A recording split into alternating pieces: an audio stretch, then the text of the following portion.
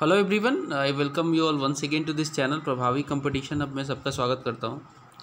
And again uh, बहुत ही important एक book लेके आया हूँ। पिक्चोरियल रिप्रेजेंटेशन वाली जो क्लासेस हमने शुरू की है। घटना चक्र की है ये GS Drishti G S one Drishti आपकी घटना चक्र की है ये। ठीक है? और इसमें क्या है जो भी uh, आज हम लोग डिस्कस करने वाले हैं वो है इंडियन हिस्ट्री इंडियन हिस्ट्री हम लोग डिस्कस करेंगे। कंप्लीट बुक एक ही वीडियो में मैं दूँगा आपको. Very important again because all of the stuffs related to Indian history related be ancient medieval and modern are compiled in just one hundred thirteen pages and these are compiled in the form of flow chart maps etcetera so एक बहुत ही scientific तरीके से इन्होंने बनाने की कोशिश की है और काफ़ी मतलब बहुत ज़्यादा सक्सेसफुल बुक ये हो चुकी है. सो so, जो अच्छी किताबें हैं वही मैं आपके सामने लेके आता हूँ और ऐसी कई सारी बुक्स को मैं कवर कर रहा हूँ। So if you are new to the channel definitely hit subscribe button and also press the bell icon so so that you can get the notification of my latest videos which ever I upload okay so Indian history हम लोग discuss करेंगे। एक एक uh, जो इसका page है सब important है। एक एक पॉइंट इसका इंपॉर्टेंट है बिकॉज़ एक सौ तेरह पेज में आपको complete history complete Indian related be ancient medieval and modern you will never find in this much short you know जो पेजेस हैं उतने शॉर्ट में आप नहीं पा पाओगे। सो वेरी इंपॉर्टेंट चलिए स्टार्ट करेंगे। टाइम वेस्ट नहीं करते हम लोग सीधा अब डिस्कस करते हैं इसको एक एक पेज से स्टार्ट करते हैं। वन बाय वन में सब कुछ आपको कंटेंट देख सकते हो इंडेक्स में। हिस्ट्री ऑफ़ इंडिया में जनरली uh, जो कंटेंट होते हैं, सारी चीज़ें जो कंप्लीट जो, वो यहाँ पे कंटेंट का पार्ट है।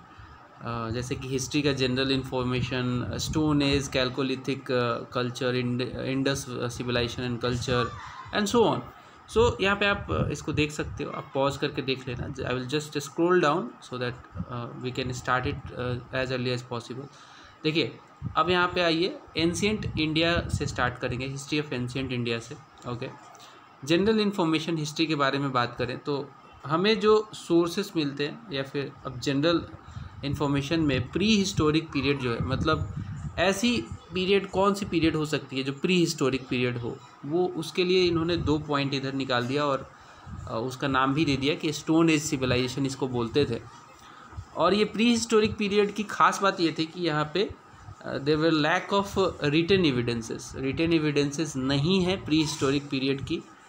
और ओनली आर्कियोलॉजिकल एविडेंसेस अवेलेबल है। Archaeological when I say I am talking about artefacts I am talking about pots which we found archaeological मतलब कि ऐसी चीज़ें जिसका साक्ष्य है। साक्ष्य हो सकता है कुछ पॉट हो कुछ ऐसा हो है ना? But written evidences are not available the lack of written evidences इधर होंगी भी तो शायद नहीं मतलब प्रिजर्व uh, हो पाई होंगी। बहुत पुराना पीरियड है ये। And stone age civilization is one of the best example of uh, prehistoric period. Okay. Next is proto historic period. खास बात क्या थी इसके? इसके इसकी खास बात ये थी कि written evidences although available है बट अनडिसाइफर्ड है। जैसे कि इंडस वैली सिविलाइजेशन उसका रिटर्न एविडेंसेस है हमारे पास।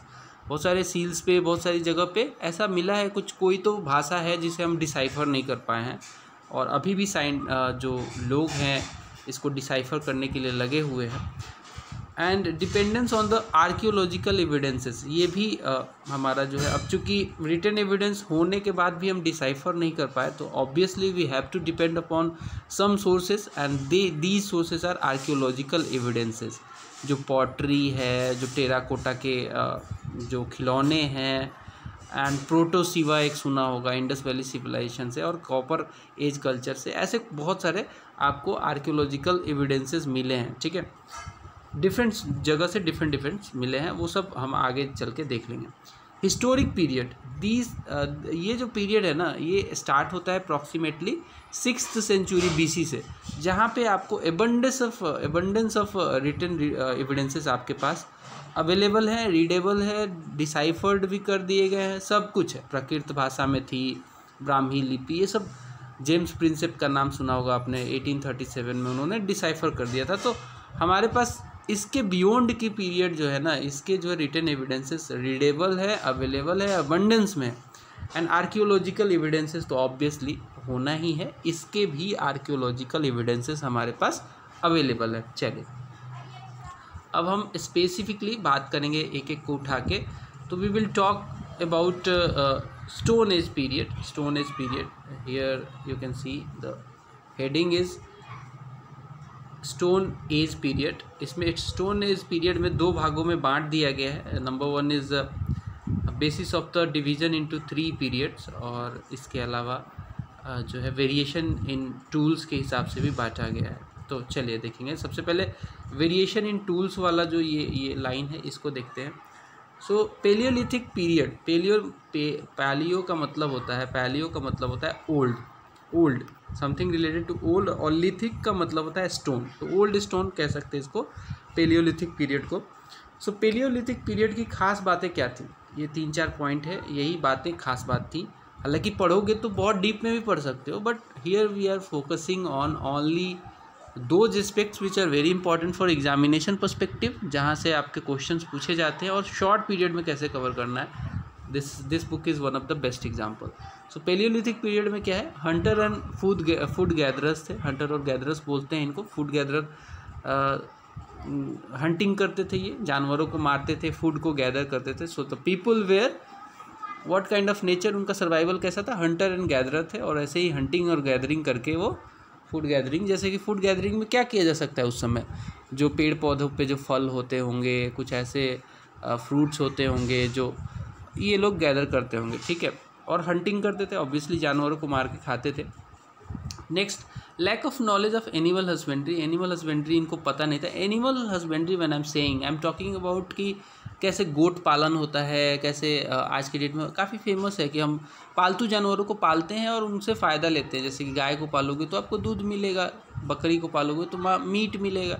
ऐसे, है ना, उन लोगों को ये सब चीज़ें पता नहीं थी। There was less in knowledge about how to do animal husbandry agriculture and fire agriculture और फायर भी उनको पता नहीं था। फायर एक बहुत इंपॉर्टेंट चीज़ है। जो शायद जब पता चली तो काफ़ी ज़्यादा डायनेमिक चेंज आया लोगों के रहन सहन में फायर की वजह से। So lack of knowledge of animal husbandry agriculture and fire was one of the feature of this first hand axe associated with this period first hand axe associated with this period मतलब कि जो hand axe मिला है, पहली बार जो example है तो यही से मिला है।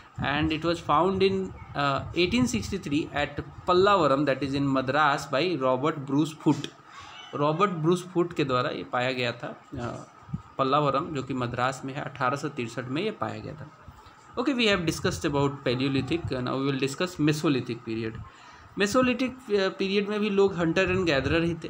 There was there was shift मतलब हंटिंग एंड गैदरिंग से थोड़ा सा शिफ्ट आया था when they started animal husbandry the evidences मिले हैं एनिमल हस्बेंड्री के, कहाँ से? आदमगढ़, जो कि एमपी में पड़ता है, आदमगढ़ जो है एमपी में पड़ता है और बगौर राजस्थान की जगहों से we have found some evidences some साक्ष्य रिलेटेड टू एनिमल हस्बेंड्री तो सो लाइफ कहीं ना कहीं यहाँ से शिफ्ट हो रही थी हंटिंग गैदरिंग से towards the some how we can call that थोड़ा सा सेटल्ड लाइफ की तरफ़ अब इन्होंने स्टार्ट किया था सीखना उसको although it was not fully settled life animal husbandry मिला है। एनिमल हस्बेंड्री तभी हो सकती है जब एक काइंड ऑफ़ आप अपने जानवरों को एक जगह कहीं रख रहे हो, फिर से आप अगर हंटिंग करने जा रहे हो गैदरिंग हो वांडरिंग कर रहे हो तो उनको लेके जा रहे हो। तो एक kind of some sense of आप कह सकते हो कि सेटल्ड लाइफ का जो है एग्ज़ाम्पल यहाँ से मिलना शुरू हो जाता है। Next is tool made from bones uh, where have been discovered uh, evidences have been found uh, Sarai Nahar Rai UP में पड़ता है एंड महादाहा महादाहा से भी ये मिलता है. So mesolithic we have discussed palaeolithic discuss कर ही लिया है. Uh, लेकिन मेसोलिथिक में जाने से पहले बेटर ये होगा कि पेलियोलिथिक के फर्दर डिविजन्स को देख लें. पेलियोलिथिक में ही रहते हैं मेसोलिथिक छोड़ देते हैं यहाँ पे, क्योंकि पेलियोलिथिक को भी फर्दर तीन भागों में बांटा गया है। पेलियोलिथिक को भी फर्दर तीन भाटों, भागों में बांटा गया है that is lower palaeolithic middle palaeolithic and upper palaeolithic तो लोअर पेलियोलिथिक की खास बात क्या थी? यहाँ पे कोर जो टूल थे कोर टूल्स जैसे कि hand axe cleaver chopper hand axe मतलब कुछ इस तरीके का होगा हैंड एक्स कुछ इस तरीके की कुल्हाड़ी होगी, ठीक है?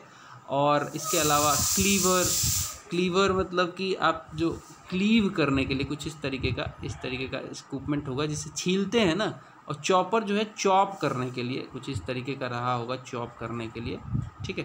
काटने के लिए धार थोड़ा सा बनाया होगा इन्होंने। तो ये जो है, ये सब इक्विपमेंट्स कोर टूल हुआ करते थे स्पेशलिटी इसमें थी हैंडेक्स हुआ करता था। आज भी हैंडेक्स यूज़ होता है, आज भी हम लोग कुल्हाड़ी यूज़ करते हैं, आज भी चॉपर हम लोग यूज़ करते हैं, आज भी क्लीवर यूज़ होता है। So life has been not settled as present वाला अर्लियर uh, जो है काफ़ी डिफ़िकल्ट लाइफ हुआ करता था। It has evolve it has evolve and now you are living very standard life very settled life और आज के डेट में तो इतनी सारी फैसिलिटीज़ है है ना? तो चलो hand axe cleaver and chopper with the special core tools middle palaeolithic में क्या था? प्लैंक टूल्स हुआ करते थे। These are made of the quartzite stone flake tool की तरह हुआ करते हैं। और ये क्वारजाइट के बने थे और अपर पेलियोलिथिक में ब्यूरिन स्क्रैपर्स वगैरह स्क्रैपर मतलब कुछ उस इस तरीके का होगा इस तरीके का स्क्रैपिंग करने के लिए इस तरीके का स्क्रैपर होता है ना जो खुरेचने वाला ब्यूरिन स्क्रैपर ये सब अपर पेलियोलिथिक में देखा गया सो so, ये हो गया आपका division lower palaeolithic middle palaeolithic upper palaeolithic ठीक है? Mesolithic we have already discuss so will not discuss it again and will directly move to neolithic period fine let us discuss about neolithic period so neolithic period was first time in the speciality of this period is first time production of grain first use of fire important achievement रहा किस period में ये कई बार पूछा गया सवाल है so you have to remember कि फ़र्स्ट यूज़ ऑफ़ फायर जो होता है वो नियोलिथिक पीरियड से ही संबंधित है नियोलिथिक पीरियड से ही संबंधित है and first time production of grain भी यहाँ से स्टार्ट होता है। मतलब सम हाउ सेटल्ड लाइफ यहाँ से स्टार्ट हो जाती है। और इसके इंपॉर्टेंट साइट्स क्या हैं? जैसे कि लाहौर देवा यूपी इंडिया का है। ओल्डेस्ट एविडेंस ऑफ़ राइस यहाँ पे पाया गया है। इसके अलावा मेहरगढ़। मेहरगढ़ जो है वेरी इंपॉर्टेंट एन में भी काफ़ी फोकस्ड ये एरिया है। और भी जगह में मेहरगढ़ हमेशा नाम आता है। So it is oldest evidence of wheat जो है बार्ली वीट का जो है एविडेंस यहाँ हमें मिलता है।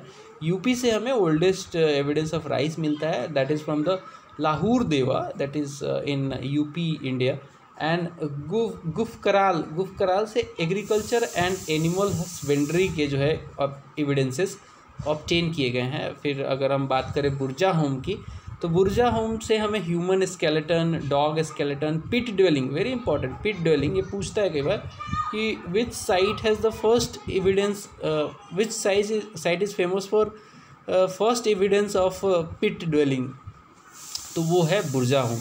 Human skeleton dog skeleton भी बुर्जा होम से पाया गया है। Burzahom is in Jammu Kashmir. Kashmir में है ये। एंड संगना कुल्लू पिकी हाल, उतनूर, इन सबसे हमें एस माउंट मिले हैं, एस माउंट हमें मिले हैं। तो ये कुछ एविडेंस है। एस माउंट से मतलब है कि राख जो है ना, आग के साक्ष्य के लिए, राख ही तो आप देखोगे, अब थोड़ी ना आग का साक्ष्य आग ही मिल जाएगा आपको। राख देखोगे, राख का माउंट कहाँ मिला है? तो हमें मिला है संगना कुल्लू और पिकली, हाल उतनूर से। ओके नियोलिथिक हमने डिस्कस कर लिया guys we will now move to exam दृष्टि से देखें।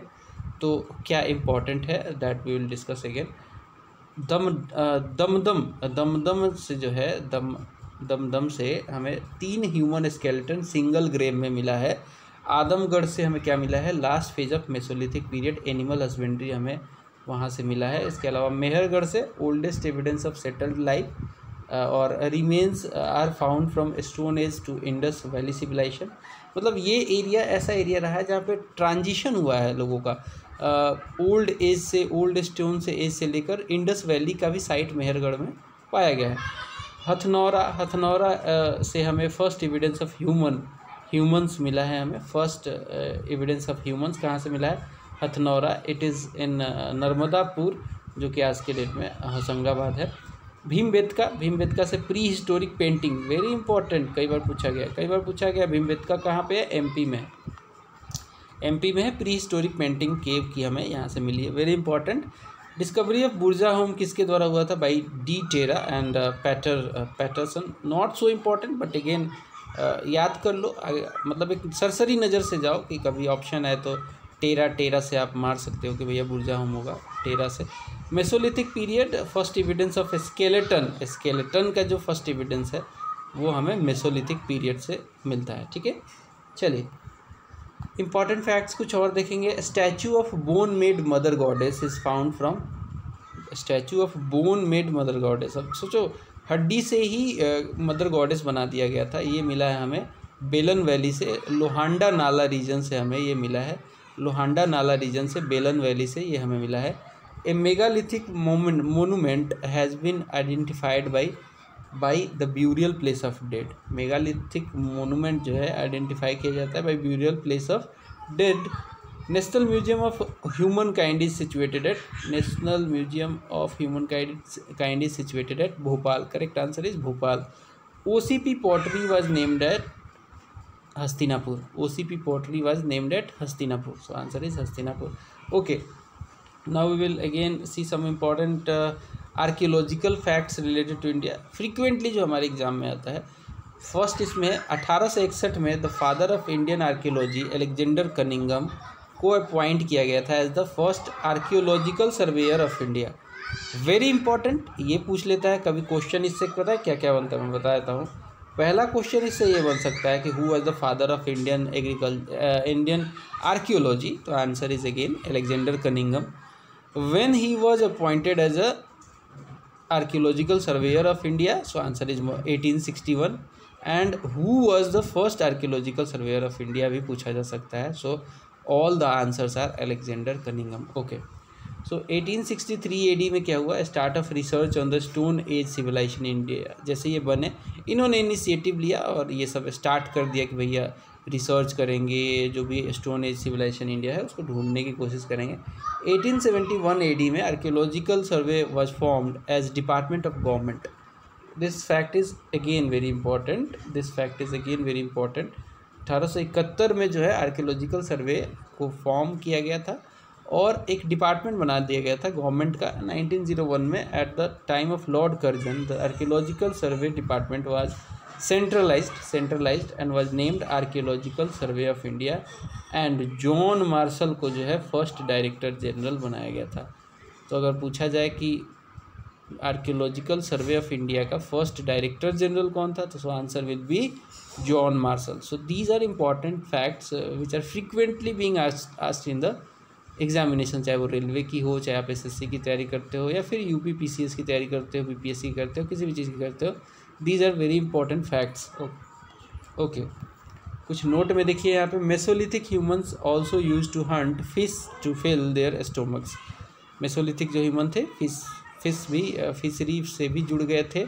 फिशिंग करते थे the typical tool of mesolithic period were micro stone tool ये पूछा जाता है कई बार। Micro stone tool, stone tools क्या थे बिल्कुल छोटे छोटे टूल्स इन्होंने बना लिए थे। माइक्रो मतलब बिल्कुल छोटे छोटे पत्थर के टूल बना लिए थे। मेसोलिथिक ह्यूमंस में। पहले क्या था? मेसोलिथिक से पहले पेलियोलिथिक वाले में बड़े बड़े टूल हुआ करते थे। साइज़ में, आकार में बड़े थे। लेकिन मीसोलिथिक की खास बात ये थी कि बोन टूल्स बनाए इन्होंने और छोटे छोटे कई सारे स्टोन टूल्स भी बनाए।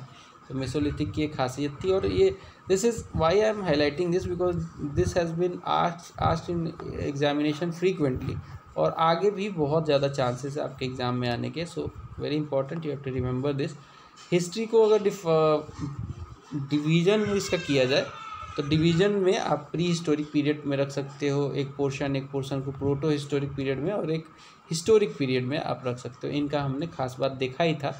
एवो period division is based on the basis of availability और unavailability of written return evidences return evidences के अवेलेबिलिटी और अनअवेलेबिलिटी के हिसाब से ही इसको हमने बांट लिया है। ठीक है, और रिलेटेड फैक्ट्स हम अब अपने रिलेटेड फैक्ट्स को देख लेते हैं। Middle middle paleolithic period was also called blade culture due to abundance of blade. Middle paleolithic period को ब्लेड कल्चर कहा जाता है, क्योंकि एबंडेंस ऑफ़ ब्लेड मिला है। ब्लेड मतलब क्या है? पत्थर को ना छील छील के उसके मतलब परत बाई परत परत हटा के इसको ब्लेड की तरह बना दिया गया था। तो इसलिए अबंडेंस ऑफ़ ब्लेड की वजह से मिडिल पेलियोलिथिक पीरियड को ब्लेड कल्चर भी कहा जाता है। Fourteen human skeletons have been found in Langhnaj लांग लंघनाज गुजरात में। लालगंज इसको बोलते हैं, लांगनज भी बोलते हैं। तो ये गुजरात में साइट है जहाँ पे चौदह ह्यूमन स्केल्टन एक साथ पाए गए। The first information about mesolithic period in India was obtained during eighteen sixty seven sixty eight A D in Indian subcontinent the time period of rice obtain from Lahuradewa Lahuradewa UP का site था, हमने देखा था।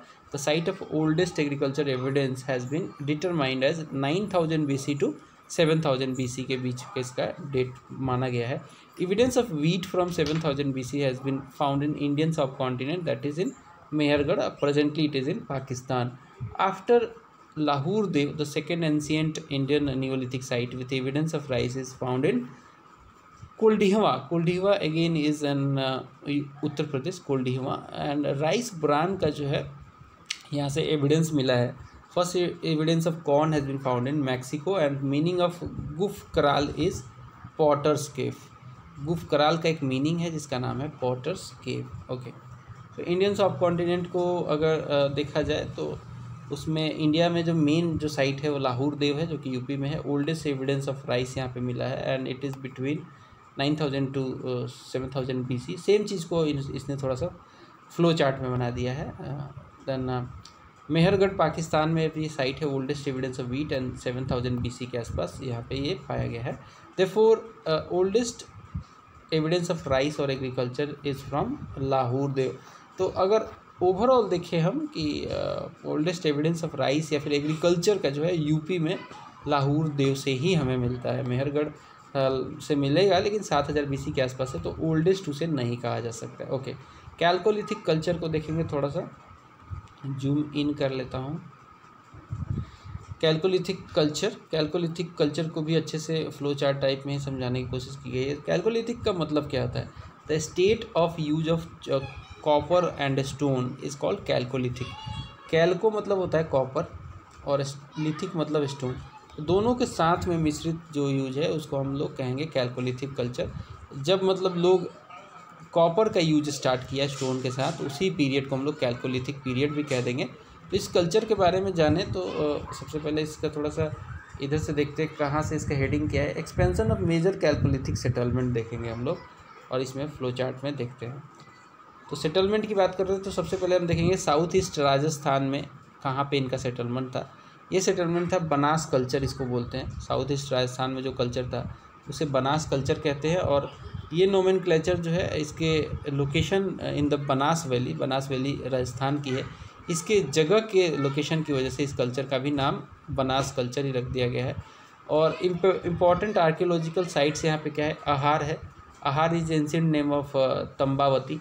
Bagor है, बाला बालाथल है, उजियाना है। Evidences of fortified settlement यहाँ पे दोनों जगह को मिला के मिले हैं। फिर गिलुंड है।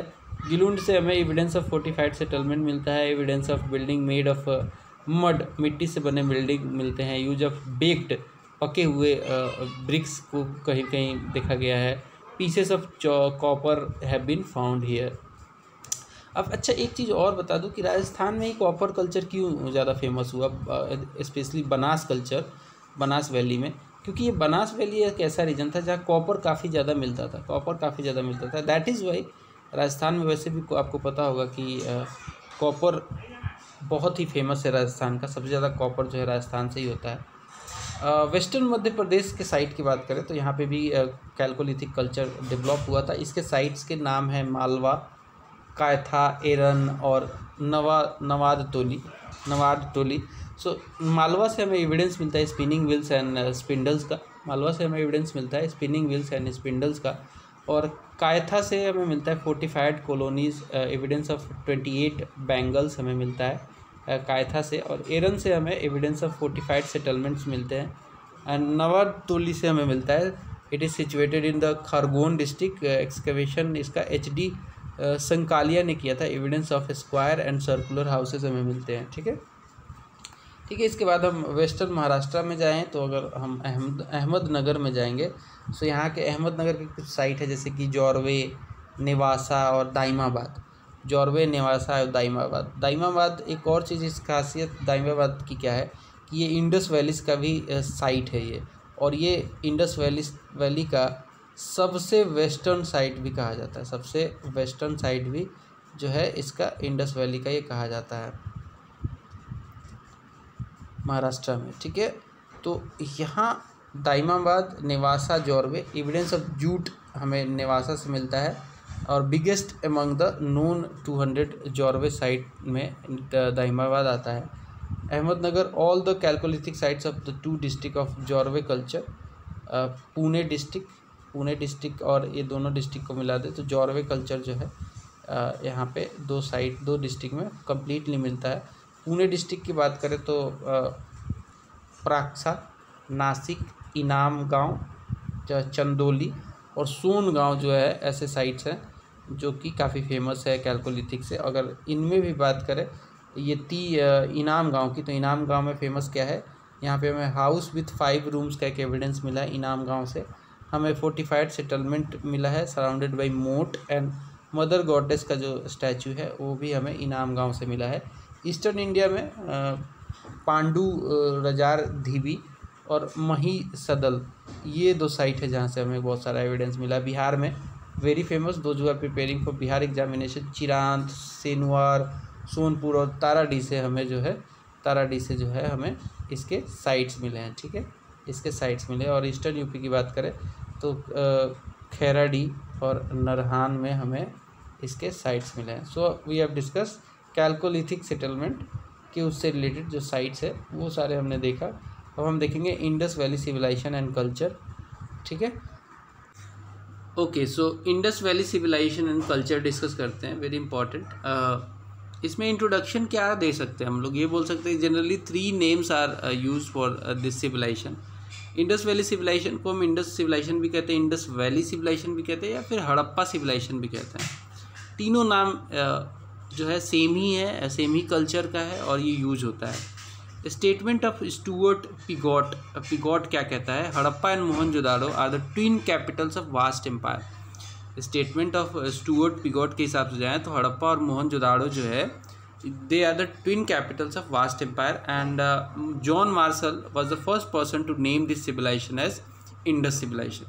John Marshall जो थे पहले व्यक्ति हैं जो कि इंडस सिविलाइजेशन इसका नाम रखते हैं इन्होंने। तेईस सौ से सत्रह सौ बीसी इसका बहुत ही मोस्ट एक्सेप्टेड इसका डेट माना जाता है। वैसे तो काफ़ी डिस्प्यूट है, कुछ लोग बोलते हैं पच्चीस सौ बीसी से लेकर सत्रह सौ पचास बीसी और वैसे बट तेईस सौ बीसी से लेकर सत्रह सौ बीसी के आसपास का जो पीरियड है, वो मोस्ट एक्सेप्टेड इसका डेट माना जाता है। और ये डेट हमने कैसे निकाला है? Carbon dating that is C fourteen dating के हिसाब से हमने निकाला है, जहाँ पे फोजिल्स का जो है एज निकाला जाता है, ठीक है? नेक्स्ट है ट्वेंटी थ्री हंड्रेड से नाइनटीन हंड्रेड बी सी जो है it is the time culmination of the development of this civilisation ठीक है? एंड नेक्स्ट पॉइंट आएगा इसमें इंडस सिविलाइजेशन वॉज़ कंटेम्प्रोरी ये कंटेम्प्रोरी था किस सिविलाइजेशन के? तो मेसोपोटामियन और इजिप्टियन जो सिविलाइजेशन थे, उसका ये बिल्कुल कंटेम्प्रोरी था। मेसोपोटामियन और इजिप्टियन जो सिविलाइजेशन था, उसका कंटेम्प्रोरी था इंडस सिविलाइजेशन इंडस सिविलाइजेशन के एक्सपेंसन एरिया की बात करें तो Pakistan most of the sites are there in the Pakistan specially in Balochistan, Punjab and Sindh. However India में भी बहुत साइट है, जैसे कि पंजाब है, गुजरात है, राजस्थान है, हरियाणा है वेस्टर्न यूपी है जे एंड के और वेस्टर्न महाराष्ट्र है। पंजाब है, गुजरात है, राजस्थान है हरियाणा है वेस्टर्न यूपी है जे एंड के है और वेस्टर्न महाराष्ट्र है। ठीक है? ये साइट्स जो है इंडिया में। तो कितने स्टेट है? गिन लो। एक, दो, तीन, चार, पाँच छः सात। सात स्टेट में अपने यहाँ इसका एक्सपेंसन था।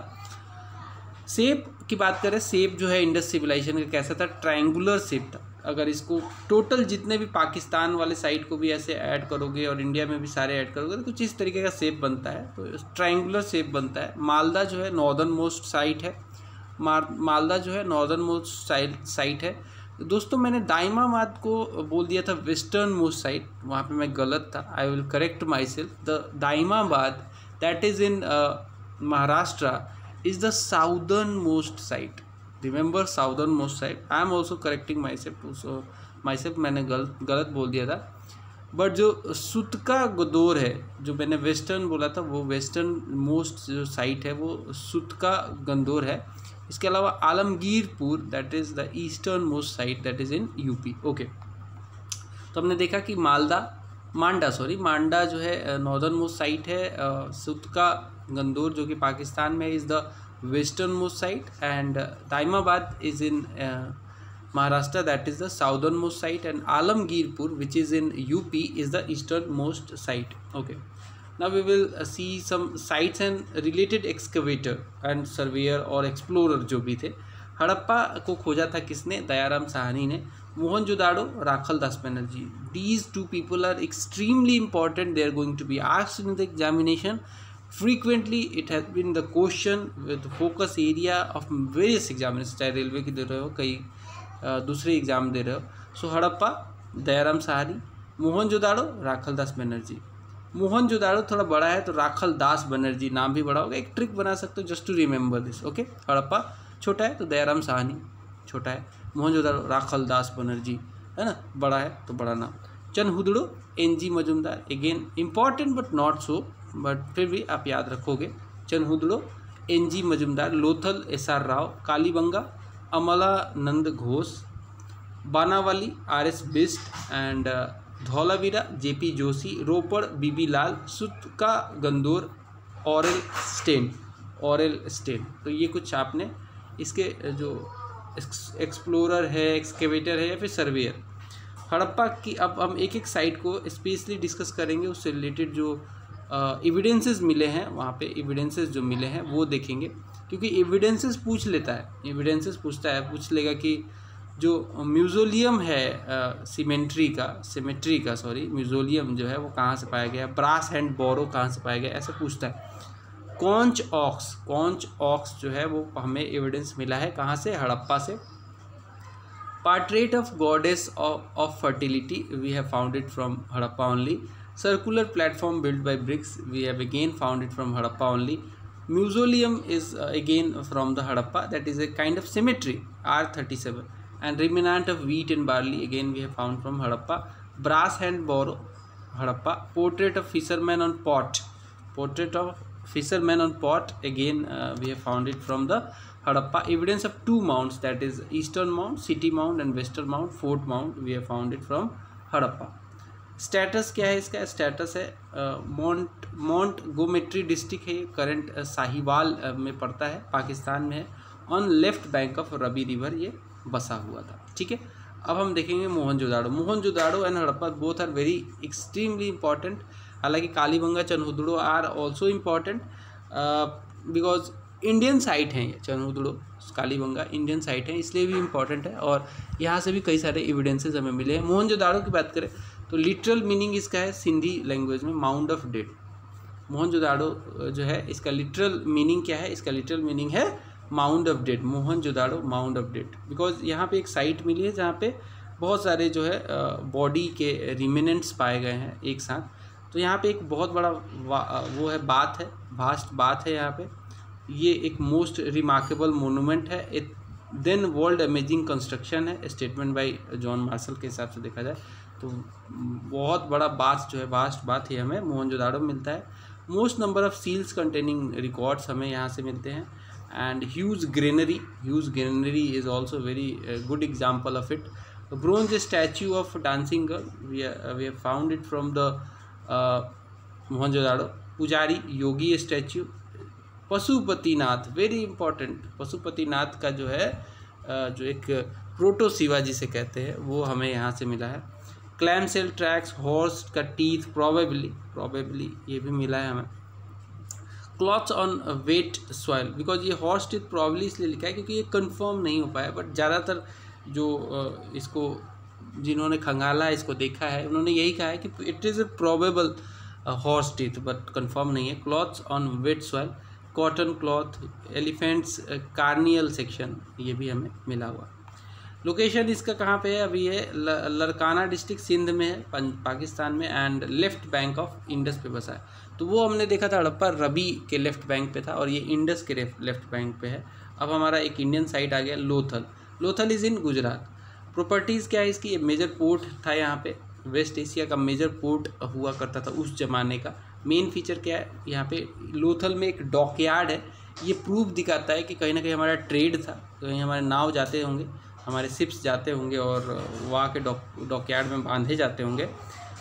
एविडेंसेस यहाँ पे पर्सियन करेंसी मिली है तो ये अगेन दिखाता है कि भैया यहाँ पे ट्रेड होती थी सील्स मिले हैं और सॉलिड पेंटेड पॉट्स हैं पैडी का भी हमें यहाँ पे राइस का पैडी का एविडेंस मिलता है, बाजरा का मिलता है।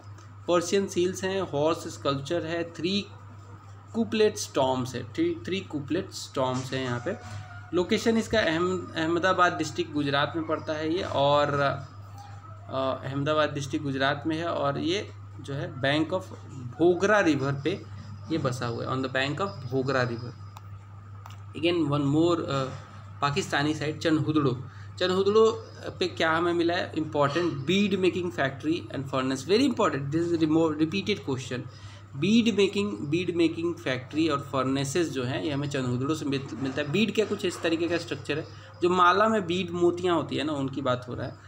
देन ऑर्नेट एलिफेंट हमें मिला है, यहाँ पे टॉय मिले हैं लिपस्टिक मिला है यहाँ पे लिपस्टिक सोचो उस ज़माने की महिलाएँ जो हैं लिपस्टिक लगा के घूमती थी। कर्व्ड ब्रिक्स मिले हैं हमें। ये ज़रूरी नहीं है कि महिलाएँ लगाती होंगी because this is not confirmed lipstick मिला बट ये नहीं पता है कि महिलाएँ लगाती हैं या फिर पुरुष लगाते होंगे उस समय बिकॉज़ अभी से हम लोग सब कुछ नहीं मान सकते कि अभी अभी महिलाएँ लिपस्टिक लगाती हैं तो उस समय भी लगाती होंगी, ऐसा कोई कंफर्म नहीं है। कर्व्ड ब्रिक्स मिले हैं डॉग्स पॉ मिले हैं डॉग्स का पॉ मतलब कि उनके जो वो जो पंजे हैं, उसका निशान मिला है। चेजिंग ए कैट करते हुए डॉग का पॉ हमें, निशान हमें मिला है। तो इसका मतलब कि they are aware about this animal dog next है, कालीबंगा। कालीबंगा से हमें क्या मिला है? काबी, कालीबंगा से हमें बहुत सारे एविडेंसेस मिले हैं, जैसे ब्रिक्स रॉ ब्रिक्स भी मिले हैं used in the construction of building baked bricks मतलब कि पके हुए ब्रिक्स भी मिले हैं used in the construction of drains wells and baths only ठीक है? तो यहाँ पे जो सिटी में, कालीबंगा में, जो ये एक्चुअली नगरीय सभ्यता थी, खास बात इसकी यही है, और रॉ ब्रिक्स मिले हैं, जो कि कंस्ट्रक्शन ऑफ़ बिल्डिंग के लिए यहाँ पे और बेक्ड ब्रिक्स जो है मेनली यहाँ पे वेल्स बाथ वगैरह के लिए बनाए गए होंगे। इसलिए सोच के बनाया गया होगा, क्योंकि नालियाँ अगर बहेंगी तो अगर आप रॉ ब्रिक लगाओगे उसमें तो वो ऑब्वियसली वो टिकेगा नहीं, वो उस मिट्टी को उखाड़ ले जाएगा। इसलिए शायद बेक्ड ब्रिक्स लगाया गया होगा drains and wells and bath वगैरह में। Ploughed field very important ploughed field ये भी हमें कहाँ से मिलता है? कालीबंगा से मिलता है। कालीबंगा से हमें क्या मिलता है? प्लोड फ़ील्ड कालीबंगा जो है एक साइट है, बहुत फ़ेमस साइट है प्लोड फ़ील्ड को लेकर। इसके अलावा अर्थ क्विक एविडेंस हमें मिला है। ठीक है अर्थ क्विक का एविडेंस मिला है अर्थ क्विक एविडेंस मिला है फायर पिट मिले हैं वेल मिले हैं रेक्टेंगुलर पिट मिले हैं made of baked bricks and on a platform seven fire pits in line in a line on second platform हमें मिला है। और स्टी टाइट और क्ले के सील मिले हैं। स्टी टाइट एक मटेरियल होता है, उसके और क्ले के सील्स मिले हैं। इसके अलावा पीसेस ऑफ़ पॉटरी हमें मिला है। लोकेशन इसका है राजस्थान, हनुमानगढ़ डिस्ट्रिक्ट राजस्थान में इसका लोकेशन है। फिर हम आएँगे धौलावीरा। धौलावीरा अगेन गुजरात का साइट है। धौलावीरा और लोथल दोनों गुजरात के साइट है। रेक्टेंगुलर सिटी है ये फ़ेमस इसीलिए है बिकॉज़ ये रेक्टेंगुलर सिटी हुआ करती थी। जनरली ट्राइंगल शेप हुआ करता था नॉर्मल का इस बट इसका रेक्टेंगुलर सिटी है। And city divided into three parts यही एक सिटी है जहाँ पे तीन पार्ट में जनरली टो दो ही पार्ट में हुआ करता था। बट ये जो ऐसी सिटी थी धौलावीरा ये तीन पार्ट में थी। यहाँ पे एक एक पार्ट तो फोर्ट था किला जो था। दूसरा सेंट्रल सिटी थी और तीसरा एक लोअर टाउन था। ऐसा माना जाता है कि लोअर टाउन में नॉर्मल आम जनता जो गरीब जनता है वो रह, रह, रहा करती होगी। ऑप्टेंड एविडेंसेस क्या है? ह्यूज वाटर रिजॉर्वॉयर यहाँ पे एक देखा गया huge water reservoir advanced water management system देखा गया लार्ज साइज़ इंक्रिप्शन देखे गए with ten marks of in Harappan script location इसका रण ऑफ़ कच्छ, गुजरात में है। फिर हम देखेंगे Surkotada Surkotada again is in Pakistan special special चीज़ क्या है इसमें? This is the city divided into two categorise park that is one in fortified area second in habitation area only Dholavira is divided into three part then evidences की बात करें तो pot burial यहाँ पे horse के bones जो है यहाँ पे पाए गए हैं, ये भी जो है सुरकोतदा ये अभी जो है कच्छ डिस्ट्रिक्ट ऑफ़ गुजरात में नहीं है सुरकोतदा जो है, ये अभी कच्छ डिस्ट्रिक्ट गुजरात में नहीं है, यहाँ पे गलत दिया हुआ है दोस्तों, ये सुरकोतदा जो है अभी ये पाकिस्तान में है तो कच्छ डिस्ट्रिक्ट गुजरात यहाँ पे गलत दिया हुआ है। दायमाबाद दायमाबाद इज़ इसकी स्पेशलिटी क्या है? It is the southernmost site of the Indus civilisation क्या मिला है evidences man driving a chariot यहाँ से मिला है. बुल एंड राइनो फिगर्स मिले हैं. A seal of Indus script मिला है. पॉट साउसर कप वगैरह यहाँ से मिले हैं. अहमद अहमद नगर डिस्ट्रिक्ट महाराष्ट्र में ये साइट है. और on the left bank of Pravara river पे ये बसा हुआ है. ठीक है? Daimabad we have seen Banawali is in Haryana Haryana में ये साइट है और यहाँ पे इसकी कैरेक्टरिस्टिक की बात करें तो तीन लेवल ऑफ़ इंडस कल्चर यहाँ पे देखे गए हैं। तीनों लेवल तीनों लेवल ऑफ़ इंडस कल्चर देखा गया अर्ली भी यहाँ पे देखा जाता है मैच्योर और लेट ये लेवल uh, क्या है? ये लेवल ये है कि अर्ली मतलब कि सबसे पहले जो uh, मतलब स्टार्टिंग जो हुआ इंडस वैली सिविलाइजेशन का फिर इसके बाद ये मैच्योर स्टेज में आया और फिर लेटर में ये डिक्लाइन होने लगा तो लेट स्टेज भी इसका है डिवाइडेड तो तीनों स्टेज जो पाया गया है, वो Banawali that is in Haryana ये पाया गया है. एंड क्रिस क्रॉस रोड्स यहाँ पे दिखाए गए हैं. जनरली रोड का जो है पैटर्न सारे जगह जो है रेक्टेंगुलर पैटर्न था. एक दूसरे को 90 डिग्री के एंगल पे काटने का पैटर्न था. लेकिन यहाँ पे जो रोड्स देखे गए थे it was kind of criss cross road ऐसा कुछ रोड देखा गया है. ठीक है? And dividing the city into grid grid pattern कुछ इस तरीके का पैटर्न क्रिस क्रॉस रोड में ऐसा यहाँ पे देखा गया ग्रिड में बना दिया है। And lapis lazuli and carnelian bits यहाँ पे देखे गए वेरी इंपॉर्टेंट लापीज लजौली ये आप जब एन uh, पढ़ोगे तो इनके बारे में थोड़ा डिटेल में दिया गया है बट हमें यहाँ पे डिटेल में नहीं जाना है। तो लापीज लजौली और कार्नेलियन बिट्स यहाँ पे देखे गए हैं क्लोज सेप्ट टॉय देखे गए हैं। लो सेप टॉय पूछता है कई बार कि ये जो हल है खिलौने जैसा, वो कहाँ से देखा गया है, कहाँ मिला है? तो ये मिला है बानावली से। कॉपर एरो टिप मिला है और सील और वेट्स तो यहाँ पे मिले ही हैं।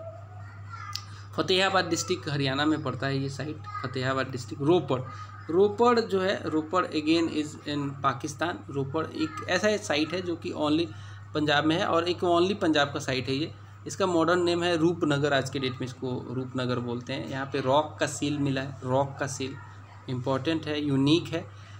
चर्ट के वेट्स मिले हैं चर्ट के वेट्स मिले copper arrow tips and and axe मिला है। इसके अलावा पॉटरी रेजर मिला है। डोमेस्टिकेटेड डॉग्स का जो है ब्यूरियल विथ मैन ये यहाँ पे एक साक्ष्य मिला है, जो कि इंपॉर्टेंट है, पूछता है। डोमेस्टिकेटेड डॉग्स का जो ब्यूरियल है with man is has been found in Ropar location Punjab में बताई दी है इंडिया में on the left bank of Sutlej river चलिए कुछ और इंपॉर्टेंट फैक्ट देखेंगे साइट्स से रिलेटेड बालाकोट एक साइट है, यहाँ पे evidences of pieces of bangles made of shell मिला है, मांडा. मांडा जो साइट है, यहाँ पे ब्रोंज मेड स्क्रू पिन मिला है.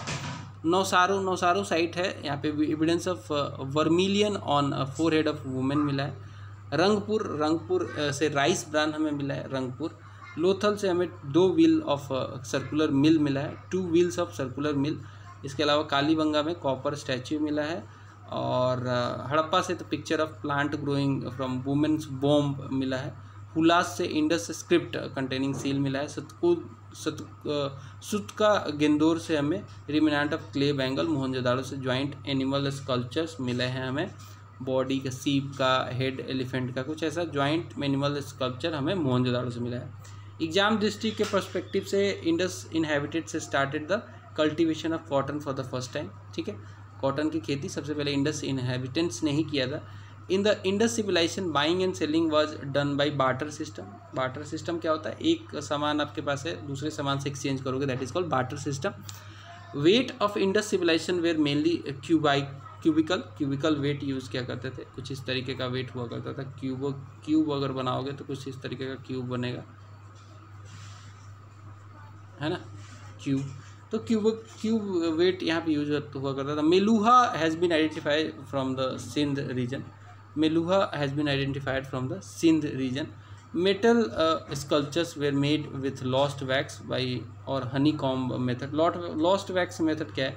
पहले क्या करेंगे? एक वैक्स uh, की मूर्ति बना लेंगे। उसके ऊपर एक uh, कुछ मिट्टी से कवर कर देंगे और उसमें एक छेद बना देंगे।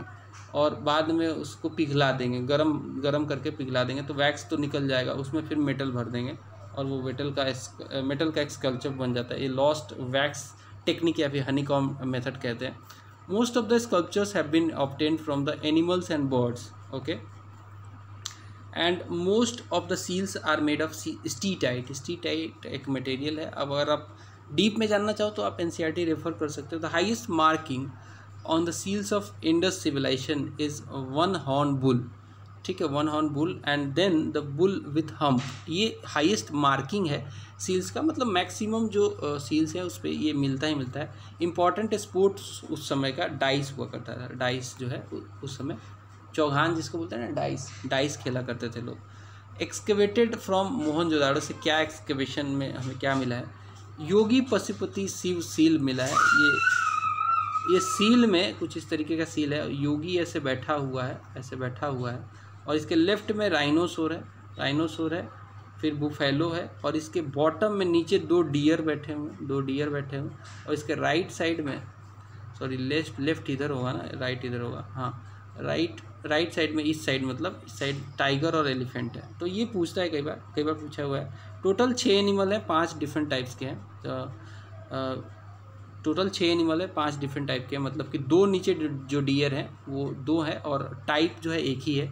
तो राइनोसोर है बुफेलो है टाइगर है एलिफेंट है और डियर्स तो हैं ही पैरों के नीचे बॉटम ठीक है इंडस सिविलाइजेशन के स्पेशल फैक्ट की और कुछ बात करें तो lack of knowledge of iron इनको नॉलेज का आयरन का नॉलेज नहीं था इनको और और knowledge of gold silver copper bronze इनको था।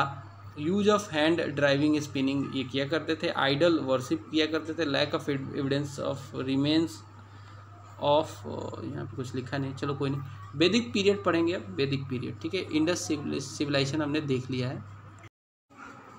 तो चलिए वैदिक पीरियड देखते हैं। वैदिक पीरियड में आपको सबसे पहले वैदिक का मतलब समझ समझना चाहिए। वैदिक का मतलब होता है नॉलेज वेद का मतलब होता है सॉरी वेद का मतलब नॉलेज होता है और वैदिक जो है, ये ओरिजिनेटेड हुआ है वेद शब्द से वेद शब्द से ओरिजिनेटेड हुआ है और वेद का मीनिंग जो है, वेद का मीनिंग जो है क्या है दोस्तों? वेद का मीनिंग है नॉलेज ओके वेद का मीनिंग है नॉलेज हमेशा याद रखना, वेद का मीनिंग नॉलेज है। इसके आगे देखेंगे।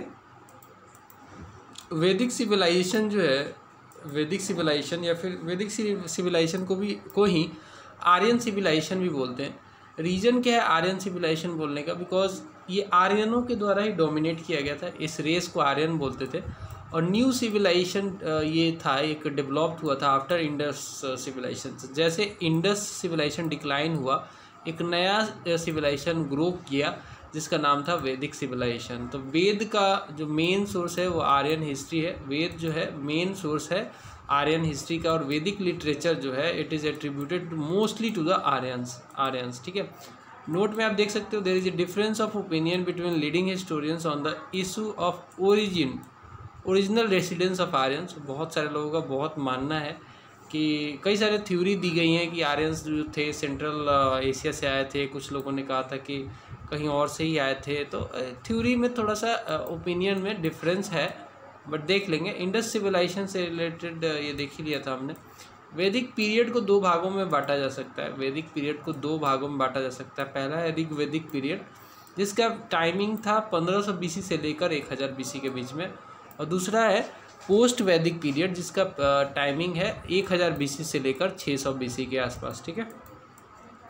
ऋग्वेदिक पीरियड और पोस्ट वैदिक पीरियड में बांटा जा सकता है। इसको ऋग्वेदिक पीरियड को अर्ली वैदिक पीरियड भी बोलते हैं। तो आर्य क्या है? आर्य ओरिजिनल हैबिटेट की बात करें तो डिस मतलब डिसग्रीमेंट है मतलब एक कोई व्यू नहीं है, बहुत सारा व्यू है डिफरेंट लोगों का डिफरेंट व्यू है। तो कश्मीर और हिमालयन रीजन जो है, एल डी कल का मानना है और इसके अलावा ब्रह्मश्री ब्रह्म ब्रह्मा श्री जो कंट्री है, ये मानना है पंडित गंगाधर गंगानाथ झा का। सप्त सिंधु मानना है कि डॉक्टर और अवनी अवनी नाश चंद्र का मानना है। कि ये जो इनका जो ओरिजिन है, ये सप्त सिंधु कंट्री है, सप्त सिंधु कंट्री है। इसके अलावा देविका स्टेट मुल्तान जो है, ये मानना है डी एस त्रिवेदी का। गॉर्डन चिडले का मानना है कि ये लोग जो साउदर्न रसिया से आए थे।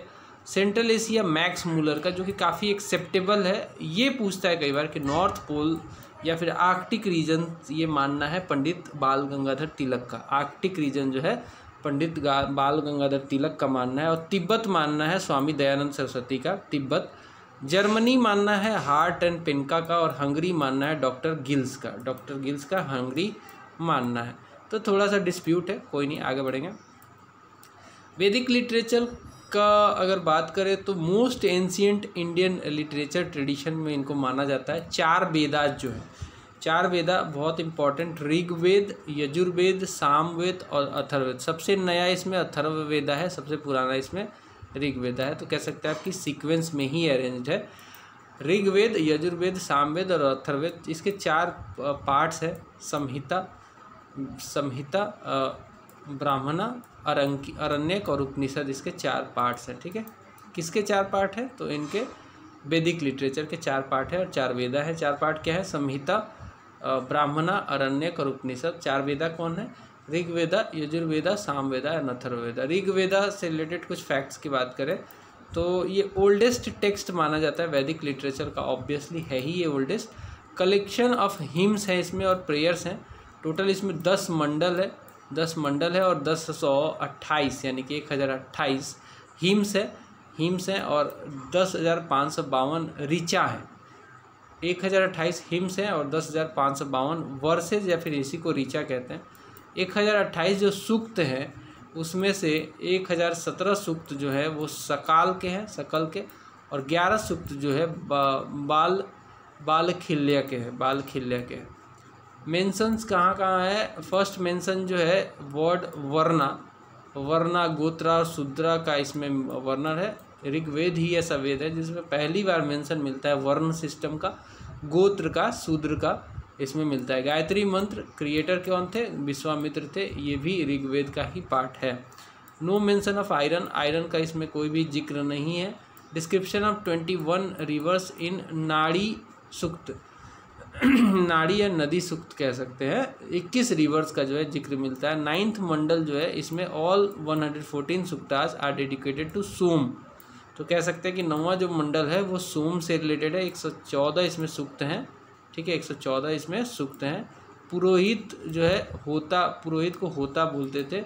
ब्राह्मण को ऐतरेया और कौस्ताकी और पुरुष सुक्त जो है, दसवां मंडल में है। पुरुष सुक्त जो है, वो दसवां मंडल है। चलिए। साम वेद की चर्चा करें तो इसका मतलब क्या होता है? साम का मतलब होता है म्यूज़िक। और जो इंडियन म्यूज़िक है, वो साम वेद से ही बना है। इंडियन म्यूज़िक जो है साम वेद से ही बना है। और ये म्यूज़िक क्या है? एक कलेक्शन ऑफ़ मंत्रा है। साम वेद जो है collection of mantras sung during the occasion of यजन। यजन मतलब यज्ञ। यज्ञ के दौरान जो भी मंत्र पढ़ा जाता है ना, उसका ये ज़िक्र इसमें साम वेद में है, मंत्राज इसमें बहुत ज़्यादा है। The priest to sing mantras. Mantra जो पृष्ठ जो गाते हैं, उसको उदगाता बोलते हैं और total of eighteen hundred seventy five verses है। मेजर ब्रांच इसका है कौथुमा रामायनिया और जमीनिया इसके मेजर ब्रांच है। ब्राह्मण टेक्स्ट जो है, ब्राह्मण टेक्स्ट ये है तंद्या और पाँच पंचविश इसका ब्राह्मण टेक्स्ट है, ठीक है? अब देखेंगे हम यजुर्वेद, यजुर्वेदा से रिलेटेड फैक्ट्स देखेंगे। यजुर्वेदा जो है कलेक्शन ऑफ़ हिम्स और रिचुअलिस्टिक फॉर्मूलाज का जो है, इसमें संकलन है। इसको दो भागों में बांटा गया है प्रोज एंड वर्स में दो भागों में बांटा गया है। तो यही एक वेद है जो कि प्रोज और वर्स दोनों में है। दो इसके ब्रांचेज हैं, कृष्णा यजुर्वेदा है, इन प्रोज एंड वर्स है, सकुल यजुर्वेदा है ओनली वर्स में है। कृष्णा यजुर्वेदा जो है, प्रोज और वर्सेस दोनों हैं, और शुक्ल जो है, कृष्ण और शुक्ल है। शुक्ल शुक्ल जो है, इसमें ओनली वर्सेस हैं ओनली वर्सेस हैं, ठीक है? लास्ट पार्ट जो है इसका, ये आइसो ईशो पनी पनिषद है। रिलेटेड टू स्पिरिचुअल थिंकिंग है, ब्राह्मण टेक्स्ट की बात करें तो इसमें सतपथ ब्राह्मण है, तैतरिया ब्राह्मण है, और अधवरयु की बात करें तो priest who perform the ritualistic sacrifices उसको क्या बोलते हैं? इसमें इसको बोलते हैं अधवरयु। अथर्व वेद, जो कि लास्ट वेद है, इस सीरीज़ में कलेक्शन ऑफ़ ट्वेंटी पार्ट्स हैं इसमें, तीन सौ सत्तर सूक्त हैं और पाँच हज़ार नौ सौ सतासी इसमें मंत्रा है। और इसमें जादू, टोना, बहुत सारी चीज़ें इसमें मेंशन की गई हैं। Out of total five thousand nine hundred eighty seven mantras twelve hundred mantras are of Rigveda Brahma पृष्ठ chanting mantra of Atharvaveda and दो ब्रांच है इसका पिपलाद और सौनक इसके दो ब्रांच हैं, ठीक है? मेंशंस इसमें क्या क्या किया गया इसमें मेंशन है मगध मगध का ज़िक्र है, इसमें अंग का ज़िक्र है अथर्ववेद का। रिमोट स्टेट की तरह इनको ज़िक्र किया गया है। सभा और समिति, दो डॉटर बोला गया है प्रजापति का। ये किसमें बोला गया है? अथर्ववेद में। ब्राह्मण टेक्स्ट क्या है? गोपनाथ है ओनली ब्राह्मण टेक्स्ट है। इसमें गोपना, गोपथ गोपथ सॉरी गोपथ ब्राह्मण, इसी का पार्ट है। ठीक है, सतपथ ब्राह्मण के बारे में थोड़ा सा ज़िक्र करेंगे, क्योंकि इसका इम्पोर्टेंस बहुत ज़्यादा हो जाता है specially history territorial history, history की भी बात करें तो इसमें काफ़ी इम्पोर्टेंट हो जाता है। जैसे कि पहली बार बिहार का मेंशन जो है सतपथ ब्राह्मण में ही मिला है। तो ब्राह्मण टेक्स्ट ऑफ़ शुक्ल यजुर्वेदा, इसका, शुक्ल यजुर्वेद का ये पार्ट है सतपथ ब्राह्मण। इसमें क्या मेंशन है? इसमें मेंशन है doctrine doctrine of reincarnation जो पुनर्जन्म है फ्लडिंग थ्योरी इसमें मेंशन है flooding story and Puru Pururava Urvashi story इसमें भी ये भी इसमें मेंशन है। पुरुष मेधा यजना डिस्क्रिप्शन इसमें मेंशन है। वाइफ जो है हस्बैंड्स बेटर हाफ़ होगी, ये लिखा गया है इसमें। कुरु और पंचाला जो है, इसमें best respect representative of Vedic civilization का इसमें ज़िक्र किया गया है। और राजसूया जो यज्ञ कराया जाता है, उसका भी ज़िक्र इसमें मिलता है। इसके अलावा बात करें दसराग्य वार जो बैटल ऑफ़ टेन किंग्स वाला वार है, ये मेंशन किया गया है सेवन सेवेंथ मंडल ऋग्वेदा में, जिसमें आर्यन और नॉन आर्यन का जो है पार्टिसिपेशन है ये लड़ाई है। ये फाइट किया गया था पुरुषनी रिवर रवि रिवर जिसको बोलते हैं। पुरुषनी पुराना नाम था इसका, रवि रिवर का।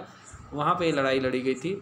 और किंग सुदास जो है, Tritsu dynasty versus association of ten kings में लड़ाई हुई थी।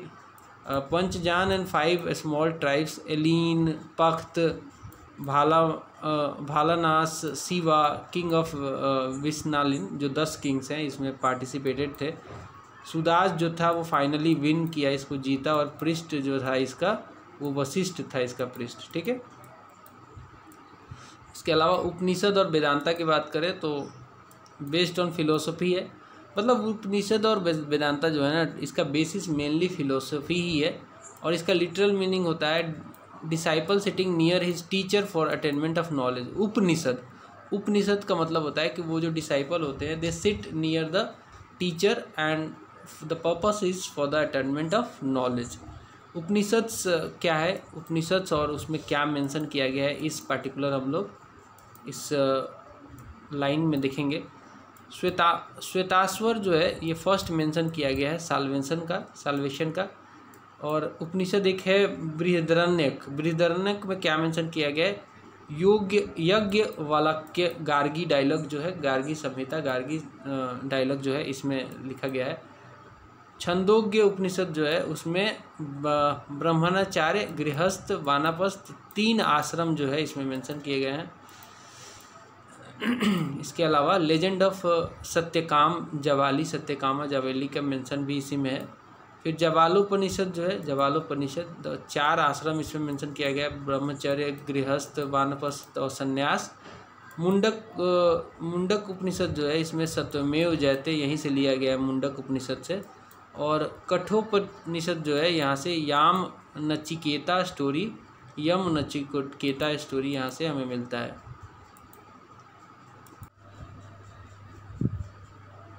अब हम देख लेते हैं, एक तरफ़ है वैदिक वर्ड और दूसरी तरफ़ है उसका मीनिंग तो कृष्ण आयास एक वैदिक वर्ड है, इसका मतलब होता है आयरन कुशीद एक वैदिक वर्ड है, इसका मतलब होता है डेप्ट कुशीदीन भी एक वैदिक वर्ड है, इसका मतलब होता है लेंडर तक्ष का मतलब होता है कारपेंटर वेकनाथ वेकनाथ का मतलब होता है इंटरेस्ट असर पर. स्पैस का मतलब होता है स्पाई स्पैस का मतलब होता है स्पाई अब हम मेजर रिवर्स देखेंगे उस समय के वैदिक पीरियड के। द मोस्ट सेक्रेड रिवर जो है, ये माना जाता है सरस्वती को। इसका दूसरा नाम भी है, सरस्वती को ही नदी नदी तमा या फिर देवी तमा या फिर मातृ तमा बोलते हैं। तो मोस्ट सेक्रेट जो है इंपॉर्टेंट है यहाँ पे कीवर्ड है सरस्वती। इंडस को सिंधु नदी भी कहते हैं और the most frequently mentioned river है ऋग्वेदा में। ऋग्वेदा में सबसे ज़्यादा बार इसकी ज़िक्र हुई है। अदर नेम से इसके हीरा, हिरण्यई, हिरण्यानी यानी कि name given to due to the economic importance फिर इसका जो है, पर्वत जो है लार्ज वाटर बॉडी इसका माना गया है। कुछ और इंपॉर्टेंट फैक्ट देख लेते हैं। नाम है ये सारा इधर, और उससे रिलेटेड जो उसके मीनिंग है, दिया गया है। ग्रामीणी जो होता था वो वैदिक पीरियड में विलेज हेड को ग्रामीणी कहते हैं। विस्पति जो था, वो चीफ ऑफ़ क्लैन था। मतलब एक समुदाय होगा, उसका क्लैन का जो चीफ था, उसको जो है विस्पति ये लोग बोलते थे। उपाध्याय जो था, उपाध्याय उपाध्याय क्या था? ये टीचर था, जो कि टीच करता था, जो पढ़ाता था क्या? Veda for sustenance. और सभा और समितियाँ, ये मेंशन है अथर्व वेदा में। सभा जो था इंस्टीट्यूशन था एलाइट या फिर एज्ड लोगों का, आज के डेट में जो राज्यसभा है, वो वैसा मान लो। और समिति जो था, वो general institution institution of commons था, जैसे कि आज के डेट में हमारा लोकसभा है, उस टाइप का ये हुआ करता था। रूरल क्या है? ओरिजिनल कल्चर जो था आर्यन का, वो रूरल था। ये नगरीय नहीं थे, ये रूरल थे। और अस्म अस्म चक्र जो था, ये राहत पुली के द्वारा खींचा जाता था। बिज़नेस जो था इसका बेस्ड था बाटर सिस्टम पे। तो इंडस वैली भी बाटर पे ही था और ये भी बाटर सिस्टम पे ही था। बाटर सिस्टम में क्या होता है? मान लो आपके पास कोई सामान है और मेरे पास कुछ और सामान है। मान लो आपके पास चावल है, मेरे पास गेहूँ है।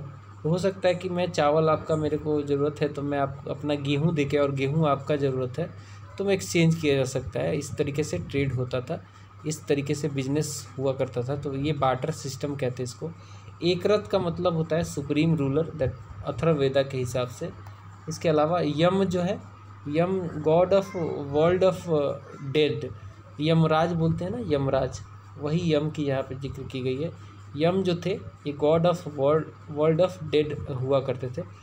त्रिवर्ग त्रिवर्ग जो था, धर्म, अर्थ अर्थ और काम से रिलेटेड था ये।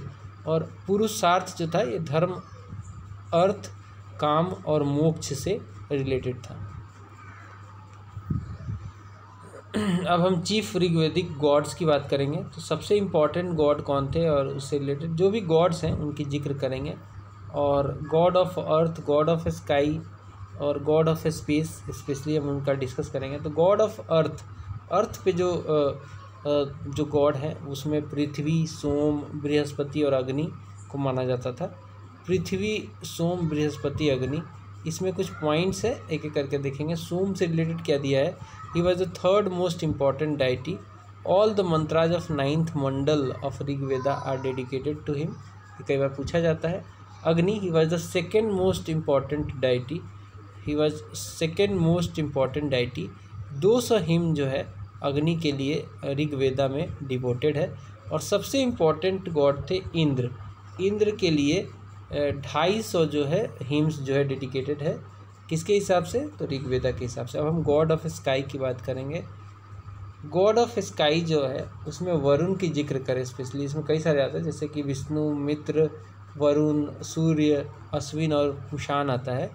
तो वरुण की बात करें तो Varun was the god of sea god of sea को वरुण कहते थे। And the regulator of Rita head of the moral order and Rita या गो, गोपा भी बोलते थे इनको। एंड पुशन जो थे Pushan was the god of plant and medicine gods used pull his chariot इनकी जो चैरियट थी, वो बकरियाँ जो हैं, बकरे बकरियाँ खींचती थी। क्योंकि ये गॉड ऑफ़ प्लांट थे मेडिसिन थे, और सबसे ज़्यादा जो प्लांट का यूज़ कौन करता है? गोठी तो करता है। इसके अलावा god of space god of space में कुछ नाम है, मरुत प्रंजया, इंद्र, रुद्र आपा और वायु। इसमें जो इंद्र है, ये पूरा ही इस वैदिक पीरियड में मोस्ट इंपॉर्टेंट डाइटी हुआ करते हैं और ये पुरंदर इनका नाम है। दूसरा the destroyer of destroyer of forts भी इनको माना जाता है। लॉर्ड ऑफ़ वर्ल्ड माना जाता है इनको। इनके लिए डेडिकेटेड है ऋग्वेदा का ढाई सौ hymn and war leader of Aryan god of rain भी इनको बोला जाता है। तो बहुत सारा बहुत इंपॉर्टेंट गॉड ये इंद्र हुआ करते थे वैदिक पीरियड के। इसके अलावा बात करें, विराट पुरुष की, विराट पुरुष की तो फ्रॉम आर्म जो विराट पुरुष है या फिर ब्रह्मा कह लें तो इससे इनके डिफरेंट अंगों से डिसाइड किया गया है डिफरेंट सारा वर्गों को डिफरेंट टाइप के वर्ग। जैसे कि माना जाता है कि विराट पुरुष के मुख से मुख से, विराट पुरुष के मुख से ओरिजिन ऑफ़ ब्राह्मीण होता है और उनके भुजाओं से, यानी कि आर्म से ओरिजिन ऑफ़ क्षत्रिय होता है, उनके थाई से ओरिजिन ऑफ़ वैश्या होता है और उनके चरणों से ओरिजिन ऑफ़ शुद्रा होता है। ऐसा विराट पुरुष से के अंगों से ऐसा माना गया है ये वैदिक पीरियड में। ठीक है? ऋग्वेदा की बात करें तो ऋग्वेदा में फ्लो चार्ट देखिए थोड़ा सा। इसमें बोला गया है कि ऋग्वेदा वेद त्राई की बात करें, वेद त्राई की तो तीन वेद इसमें जोड़े गए हैं। उसमें ऋग्वेदा है, यजुर्वेदा है, सामवेदा है, वेद त्राई। त्र से मतलब त्राई मतलब तीन। और संहिता की बात करें तो इसमें चारों वेद आ जाएँगे। अथर्वेद ऋग्वेद, सामवेद यजुर्वेद, चारों वेद आ जाएँगे। फिर इधर आ जाइए फ्लो चार्ट में ही देखते हैं कुछ और। पंचजन की बात करें तो इसमें अनु, द्रुहिया, पुरु यदु और तुरवासु इसमें आते हैं। वेदांग वेदांग जो हैं, कई सारे वेदांग हैं, जैसे कि एजुकेशन, शिक्षा है, शिक्षा वेदांग, ज्योतिष वेदांग, एस्ट्रोलॉजी, कल्प वेदांत एयोन छंद वेदांग, वर्ष, निरुक्त और ग्रामर, ये पाँच जो है पाँच नहीं छः इसमें वेदांग है छः वेदांग है, ठीक है, ये आपको याद रखना पड़ेगा। इसके अलावा ऋग्वेदिक एरा में रिवर्स और उनके कुछ मॉडर्न नेम मॉडर्न रिवर और उनके पुराने नेम ऐसा भी कह सकते हो और ये ऐसा भी कह सकते हो कि ऋग्वेदिक एरा के रिवर और उनके नया नाम आज के डेट में जो हम हम यूज़ करते हैं, वो एक बॉक्स में दिखाया गया है। अक्षिनी अक्षिनी चेनाब को बोला जाता है। विपासा ब्यास नदी को बोला जाता है।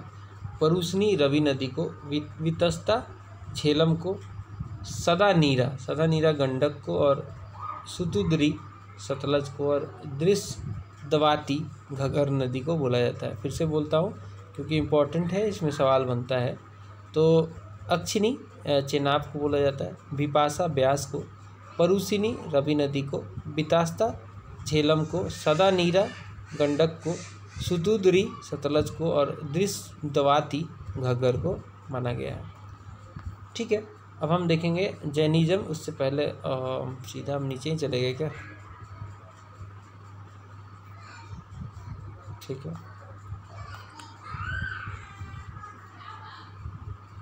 हाँ ऋग्वेदिक में मंडल देखेंगे और उसके ऑथर फ़र्स्ट मंडल के मतलब दस मंडल है ना दस मंडलों के अलग अलग ऑथर हैं।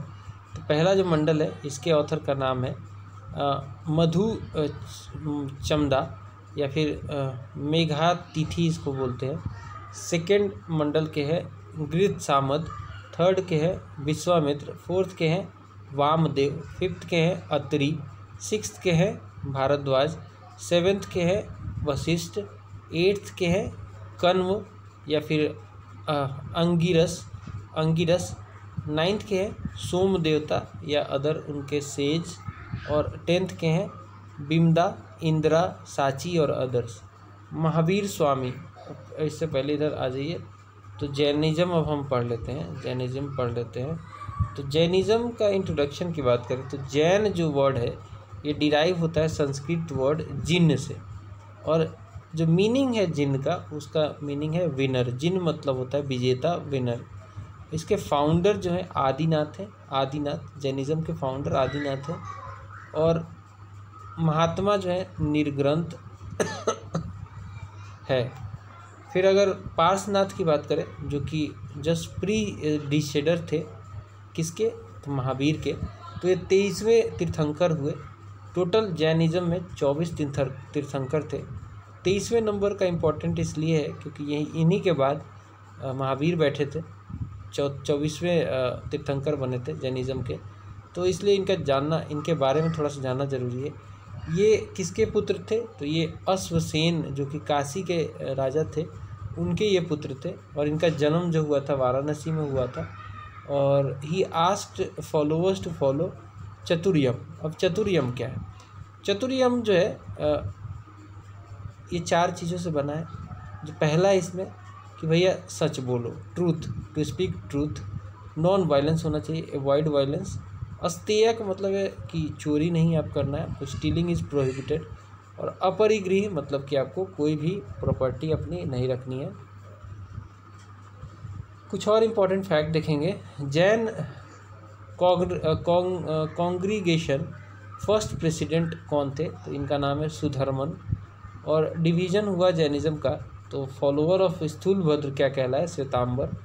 स्थूलभद्र और भद्रबाहु ने में थोड़ा विवाद हो गया और ये दोनों अलग अलग हो गए। तो जो फॉलोअर बने स्थूलभद्र के, वे श्वेतांबर कहलाए और जो फॉलोअर बने, भद्रबाहु के, वो दिगंबर कहलाए। श्वेतांबर वैसे जैन होते हैं, जो कि सफ़ेद कपड़ा पहनते हैं और दिगंबर ऐसे जैन होते हैं, जो बिल्कुल ही न्यूड होते हैं, कोई कपड़ा नहीं पहनते हैं। President of first Jain council कौन थे? पाटलिपुत्रा में हुआ था ये। इसके प्रेसिडेंट थे स्थूलभद्र ये पटना में हुआ था और सेकेंड जो बल्लभी वाला हुआ था सेकेंड जैन काउंसिल उसके जो प्रेसिडेंट थे उनका नाम है देवाधिगम देवाधिगम क्षमा श्रमण। जैन लिटरेचर को क्या बोलते हैं? इसको बोलते हैं आग, अगम, या फिर थ्योरी बोलते हैं। सिंबल ऑफ़ पारसनाथ क्या है? स्नेक है। पारसनाथ का सिंबल स्नेक है। और फाउंडर ऑफ़ आजीवक सेक्ट बहुत इंपॉर्टेंट कई बार पूछा है। ये है मखली मखाली घोषाल मखाली घोषाल जो है, ये है फाउंडर ऑफ़ आजीवक सेक्ट ठीक है। अब हम देखेंगे महावीर स्वामी से रिलेटेड कुछ फैक्ट इनका जन्म हुआ था पाँच सौ चालीस बीसी में। कहाँ जन्म हुआ था? तो वैशाली के कुंडल कुंडल ग्राम में, या फिर कुंडलपुर में, वैशाली में पड़ता है ये। इनका जन्म हुआ था। इनके फादर का नाम था सिद्धार्थ, जो कि हेड थे जनांतरी क्लैन के, क्षत्रिय थे ये। मदर का नाम था त्रिशला और विदेह दत्ता भी बोलते हैं। ये सिस्टर थी, इनकी मदर सिस्टर थी चेटक की, जो कि हेड थे उस समय वैशाली के लिच्छवी रिपब्लिक के। इनकी वाइफ का नाम यशोदा था, और इनकी डॉटर का नाम था ये जो डॉटर थी, यशोदा, इनकी वाइफ जो थी, ये डॉटर थी कुंडिन्य गोत्र की, कुंडिन्य गोत्र की ये डॉटर थी। और इनकी पुत्री का, महावीर की पुत्री का नाम था अनोजा, या फिर प्रियदर्शना भी बोलते हैं इनको। और इनके सन इन लॉ थे जमाली। जमाली इनके सन इन लॉ थे। अटेनमेंट ऑफ़ नॉलेज को कैवल्य बोला गया है और कैवल्य बहुत इंपॉर्टेंट हो जाता है। जैनिज़्म जहाँ बात आएगा। इसका मीनिंग पूछ लेता है, कैवल्य का मीनिंग क्या होता है? कैवल्य का मीनिंग होता है अटेनमेंट ऑफ़ नॉलेज नियर इनका जो नॉलेज हुआ था, इनको कैवल्य जो प्राप्ति हुई थी, ये जरम्भी का ग्राम में हुआ था, जम, Jrambhigram on the bank of Rijupalika river under the tree of sal इनको ज्ञान की प्राप्ति होती और ये ज्ञान कहलाता है Kaivalya. After attainment of knowledge that is Mahavira after एटल जब इनको नॉलेज ग्रहण हुआ तो ये क्या कहलाए? ये जिन कहलाए, ये नी नी ग्रंथ कहलाए, केवलीन कहलाए, अरहत कहलाए। ये इनको पहले जो मतलब था, ये जीन नहीं कहलाते थे, लेकिन जब इनको नॉलेज की प्राप्ति हो गई, केवल्य की प्राप्त, प्राप्ति हो गई तो इनको केवलीन या फिर अरहत या फिर जिन या फिर नी ग्रंथ इनको बोला जाने लगा। इनके पहले डिसाइपल इनके सन इन लॉ थे, जमाली एंड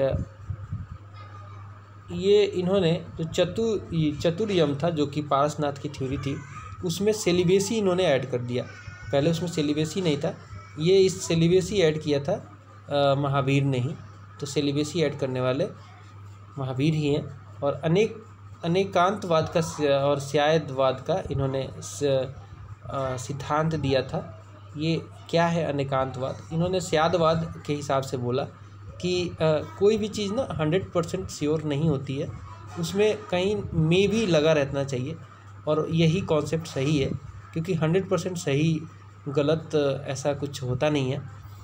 मे बी का कॉन्सेप्ट जो है ये स्यादवाद होता है और belief in rebirth of karma इनका थ्योरी था। ये बोलते थे कि रीबर्थ जो है कर्मों के हिसाब से होता है।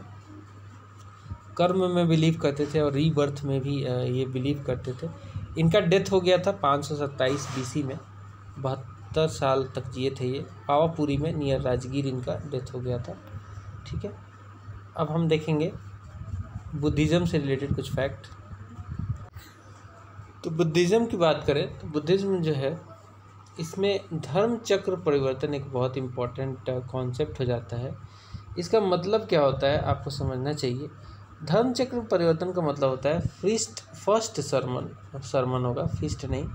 First sermon given to five Brahmins at Sarnath Rishipatnam जिसको बोलते हैं, मृगदेव बाई महात्मा बुद्ध। तो ये जो पहली बार जब ज्ञान की प्राप्ति हुई ना महात्मा बुद्ध को तो महात्मा बुद्ध ने पहली बार अपना सरमन किया था। पहली बार अपना ज्ञान बांटा था अपने पाँच ब्राह्मण्स को। सारनाथ में, और इसी को धर्म चक्र परिवर्तन या फिर प्रवर्तन, धर्म चक्र प्रवर्तन बोलते हैं। थोड़ा सा अब हम देखेंगे जो गौतम बुद्ध थे, उनका नाम एक्चुअली शुरू में सिद्धार्थ था। इनका दूसरा नाम सिद्धार्थ था, और बाद में इनको महात्मा बुद्ध या फिर गौतम कहा जाने लगा।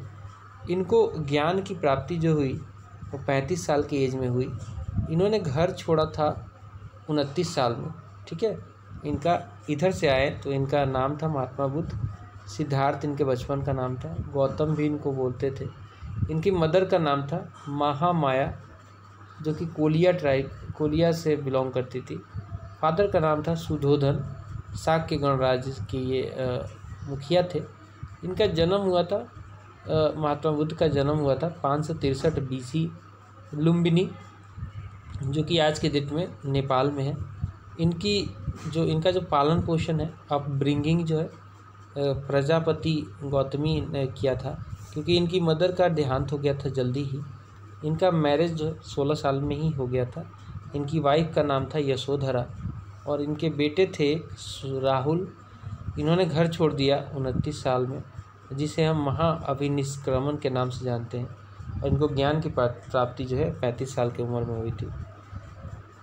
बिम्बिसार एक तरफ़ पर्सन है, दूसरी तरफ़ डोनेशन है, जिन्होंने बुद्धिज़्म को डोनेट किया काफ़ी सारी सारी चीज़ें। तो बिम्बिसार ने बेलू वन बिहार जो है डोनेट किया था, और प्रसेनजीत ने पुबरम बिहार जो है डोनेट किया था। लिच्छवी ने डोनेट किया था, कुटंग ग्रहशाला बिहार और अनाथ पिंडक ने किया था जेतवन बिहार जेतवन बिहार कुछ और इम्पोर्टेंट फैक्ट देखेंगे। फोर नोबल ट्रूथ था इनका। क्या क्या था? दुख है, बोला कि संसार में ग्रीफ है, दुख है। और दुखों का ओरिजिन जो है ओरिजिन ऑफ़ ग्रीफ जो है, समुंदया बोलते हैं उसको। दुखों का कारण है, ऐसा माना जाता है। और दुखों का निरोध है, निरोध भी है सिसेशन ऑफ़ ग्रीफ और उसके लिए इन्होंने बोला सिसेशन ऑफ़ ग्रीव के लिए अष्टांग मार्ग को अपनाना पड़ेगा, ऐसा इन्होंने बोला। तो ये चार नोबल ट्रूथ है। और मोस्ट पब्लिसिटी जो है, कौशल में इसका हुआ, ब्राह्मणिज्म बुद्धिज़्म का, जो कि श्रावस्ती, कौशल श्रावस्ती जो है इसकी राजधानी है। इक्कीस रेनी सीज़न हैबिटेट यहाँ पे बनाए गए थे। और महात्मा बुद्ध की और बात करें तो महापरिनिर्वाण इनका मतलब इनकी मृत्यु जो है कुशीनगर में हुई थी at the age of eighty years तो ये पूछता है कि मृत्यु को क्या बोलते हैं? इनके आ, आ, जो ज्ञान की प्राप्ति हुई थी सरमन किया था उन सब का एक नाम है। तो मृत्यु को महापरिनिर्वाण बोलते हैं ठीक है? महापरिनिर्वाण। कब हुआ था? अस्सी साल की उम्र में ये चार सौ तिरासी बी में। कुशीनगर, जो कि उत्तर प्रदेश में है, उत्तर प्रदेश का ज़िला है, वहाँ पे इनका देहांत हुआ था। लास्ट आवर जो है इनका लाइफ का, वो जो है, उसमें देखेंगे तो इनका लास्ट रेनी सीज़न बीता था वैशाली में। Chunda in Pava, fed porridge, last sermon इन्होंने दिया था सुभद इन कुशीनगर में, लास्ट सरमन इनका था। ठीक है, उसके बाद तो इनका देहांत ही हो गया था। एट फोल्ड पाथ इन्होंने बोला कि दुखों को निरोध के लिए एट फोल्ड पाथ आदमी को अपनाना चाहिए, जिसमें इन्होंने बोला था कि राइट व्यू होना चाहिए एक आदमी का राइट व्यू होना चाहिए। इनसाइट से रिलेटेड बात करें, प्रज्ञा से रिलेटेड तो इन्होंने बोला कि राइट व्यू होना चाहिए, अच्छी सोच रखना चाहिए राइट स्पीच अच्छी वाणी सत्य वाणी बोलनी चाहिए। राइट रिजॉल्व होना चाहिए। फिर इन्होंने बोला मोरालिटी से रिलेटेड कि राइट कंडक्ट होना चाहिए राइट एफर्ट होना चाहिए राइट लिवलीहुड होना चाहिए। मेडिटेशन के लिए बोला कि राइट माइंडफुलनेस होना चाहिए और राइट समाधि होना चाहिए। ठीक है? तो ये सब कुछ आठ फोल्ड पाथ इन्होंने बोला। Right view right speech right resolve right conduct right effort right livelihood right mindfulness और राइट समाधि, जो कि आज की डेट में भी इसको अपनाया जाए। तो आपको बेनिफिट ही मिलेगा बहुत ज़्यादा बेनिफिट मिलेगा। कुछ और इंपॉर्टेंट फैक्ट देखेंगे। तो फोर सीक्वेंस ऑफ़ सीन्स जो है रिस्पॉन्सिबल है फॉर बुद्धाज एसेंटिसिज्म ये एक बार बाहर निकले थे घर से अपने आ, अपने रथ पे बैठ के जा रहे थे मार्केट साइड में। काफ़ी छोटे थे सोलह साल की उम्र में ही ऐसे निकले घूमने के लिए। तो इन्होंने रास्ते में देखा एक बूढ़ा व्यक्ति। फिर एक बीमार व्यक्ति देखा, फिर एक डेड का बॉडी देखा इन्होंने। और एक बहुत ही खुश मिजाज, एक सन्यासी देखा एसेटिक देखा। तो इनके मन में उसी समय कहीं ना कहीं इनका हृदय परिवर्तन हुआ।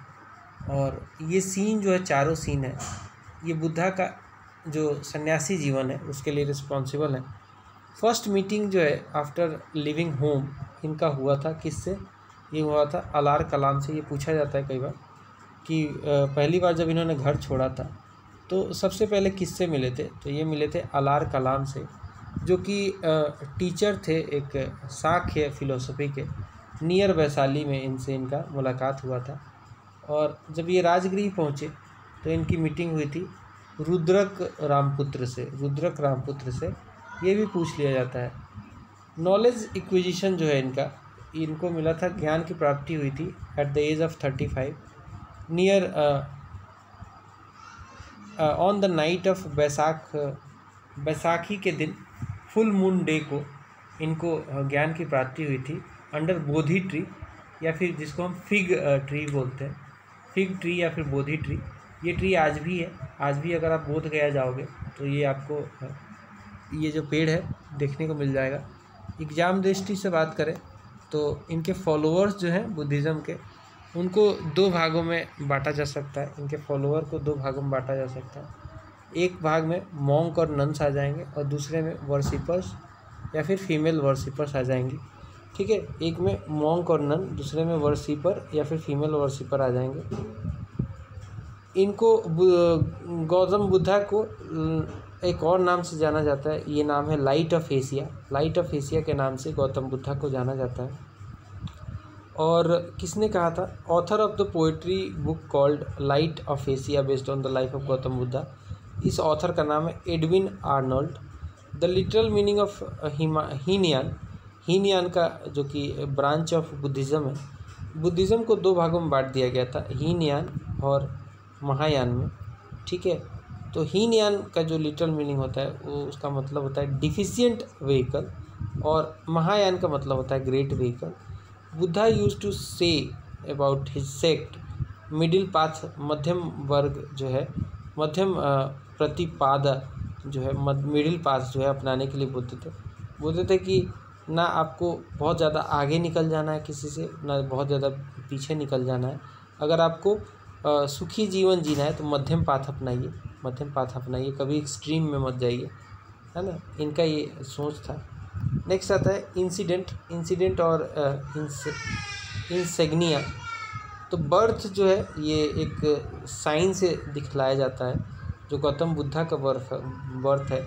इग्निस इंसिग्निया का मतलब होता है कि आ, किसी को प्रतीक जो है प्रतीक इसका लिटरल मीनिंग होता है। तो बर्थ का प्रतीक जो है लोटस या फिर बुल से दिखाया गया है। लेफ़्ट जब ये घर छोड़े थे होम तो इसके घोड़े से दिखाया गया है। जब इनको ज्ञान की प्राप्ति हुई थी तो इस इवेंट को दिखाया गया पीपल यानी कि बोधि ट्री से दिखाया गया है। और निर्वाण जब मिला था, इनको फुट प्रिंट से दिखाया गया था। और जब डेथ हुआ तो डेथ का जो सिंबल है, वो है स्तूपा। स्तूपा जो है डेथ का सिंबल है।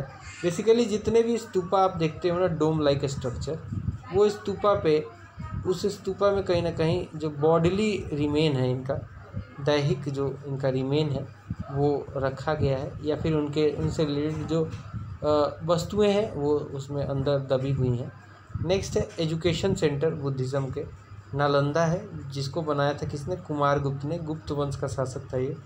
फिर बल्लभी है और विक्रमशिला, जो कि धर्मपाल ने इस्टेब्लिश किया था, जिसको बख्तियार खिलजी ने डिस्ट्रॉय किया था, ठीक है। अब हम देखेंगे त्रिरत्न, बुद्धिज़्म के तीन रत्न हैं। एक तो उसमें बुद्ध है धम है और तीसरा संघ है। बुद्धिज़्म के तीन रत्न हैं, जिसमें पहला है बुद्ध, दूसरा है धम्म और तीसरा है संघ। संघ को यूनियन भी बोलते हैं। और त्रिपितक जो है, त्रिपितक, इसमें तीन जो है, पितक है, जैसे कि, और ये लिखे गए हैं किस लैंग्वेज में? पाली लैंग्वेज में। तो विनय पितक है, जिसका, जिसमें क्या मेंशन किया गया है, उसमें संघ में जो भी लोग रहते थे, जो भी लोग रहते थे संघ में, उनको रहने सहने के लिए क्या रूल होना चाहिए, वो बिना विनय पितक में डिटेल्ड में मेंशन किया गया है। शुद्ध पितक में गौतम बुद्धा की जितनी भी टीचिंग्स है, उसका कलेक्शन है। और अभिधम पितक में फिलोसफिकल थ्योरी जो है गौतम बुद्धा की, जो उन्होंने बातें करी, जो फिलोसफिकल जो थ्योरी दी फिलोसफी दी वो इसमें ज़िक्र किया गया है अभिधम पितक में ठीक है? फिलोसफिकल थ्योरी को इसमें दिया गया अब कुछ और वर्ड्स हैं और, और साइड में मीनिंग है वो देखेंगे। चैतन चैत्य का मतलब क्या है? चैत्य का मतलब है burial term for keeping mortal remains of great man chaitya का मतलब है। बिहार का मतलब क्या है? Place of residence of monks and stupa का मतलब क्या है? Place for keeping the selected bones of dead ये मतलब होता है ठीक है?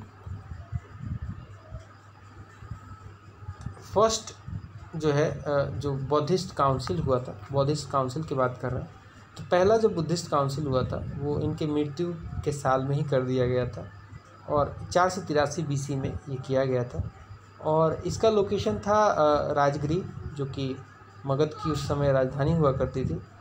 राजगृह के सप्त सप्तपर्णी केव में ये हुआ था आयोजन इसका और इसके प्रेसिडेंट थे महाकश्यप महाकश्यप ठीक है?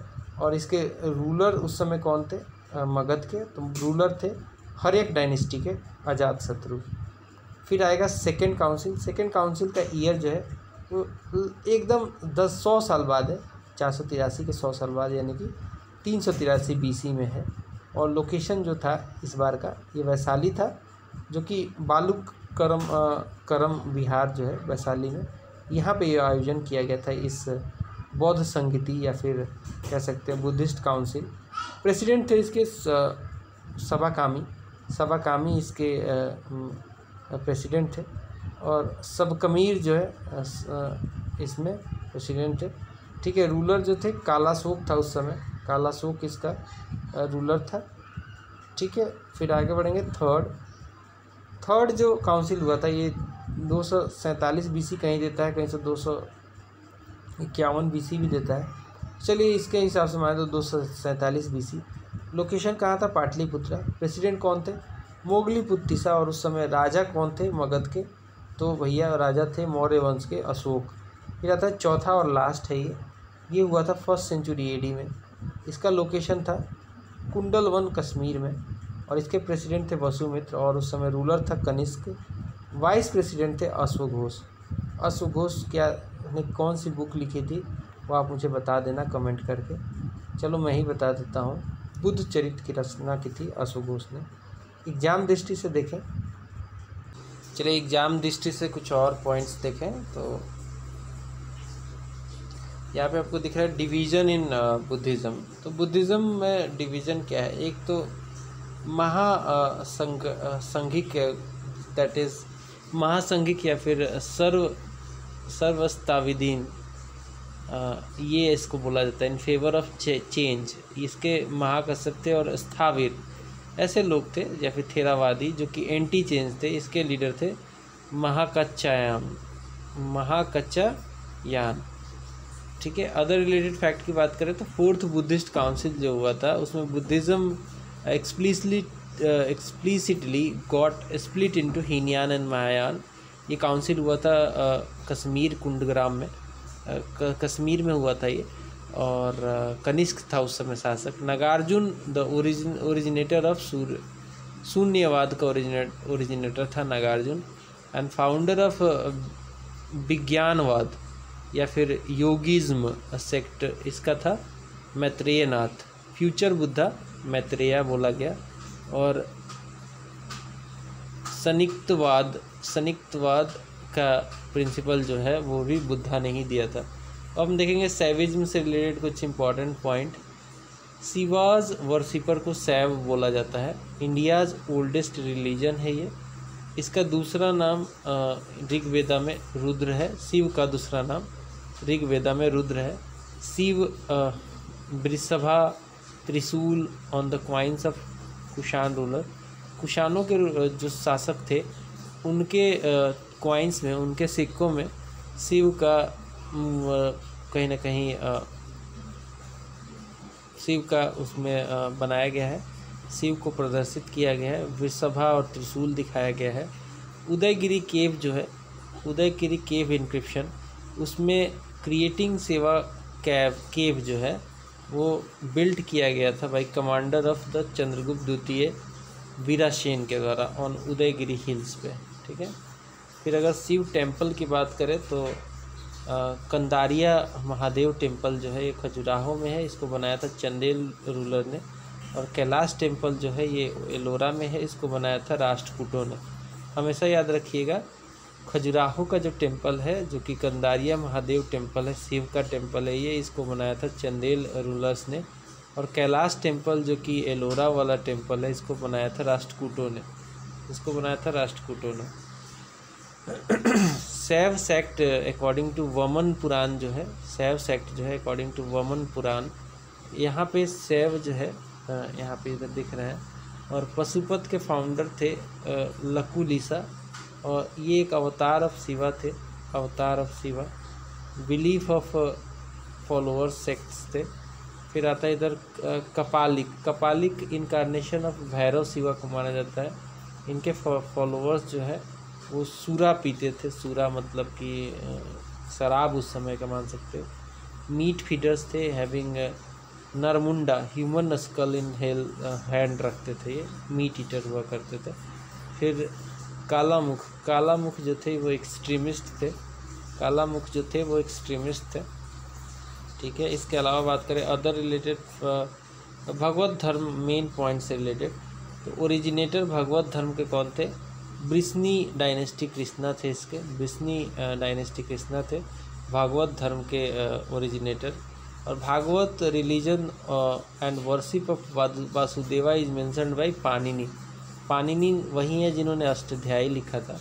First available stone monument related to Bhagavat religion was Vidisha Besnagar Garuda column. Besnagar में है जो गरुड़ा कॉलम वही है। एंड विष्णु से संबंधित है। हेली, हेलियोडोरस, भागवत था। हेलियोडोरस जो था, वो भागवत था। इसी ने बेसनगर को वाले गरुड़ा पिलर को बनवाया था वसुदेव को देवदास देव देवास भी बोला जाता है। First depiction of Bhagwat Dharma on the on the pillar इसमें, गरुड़ा पिलर में दिखाया गया है।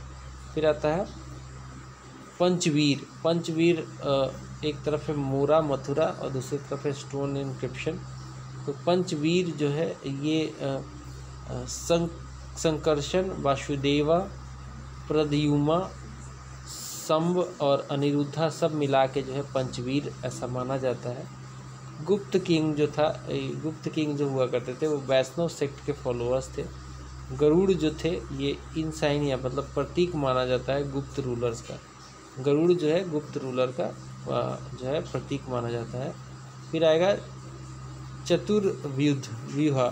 चतुर्व्यूह चतुर्व्यूह जो है चतुर्व्यूह क्या है? इसमें चार लोगों का नाम आएगा। संकर्षण, इनको बलराम भी बोला जाता है। Vasudev, born on, born of Rohini. फिर आएगा प्रद्युमा ये son of Krishna and Rukmini थे। अनिरुद्धा सन ऑफ़ प्रद्युमन थे और वासुदेव चौथे व्यक्ति। तो इन सबको मिला के चतुर्व्यूह माना जाता है। अब हम जानेंगे सिक्स सेंचुरी बीसी से लेकर बीसी का जो पॉलिटिकल कंडीशन था उसके बारे में। इसके सिक्स सेंचुरी बीसी के पॉलिटिकल जो कंडीशन था उसका सोर्स क्या है? उसको जानने के सोर्स है हमारे पास बुद्धिस्ट टेक्स्ट, अंगुत्तर निकाय और जैन ग्रंथ, भगवती सूत्र पानिनी का अष्टध्यायी और महापरिनिर्वाण सूत्र।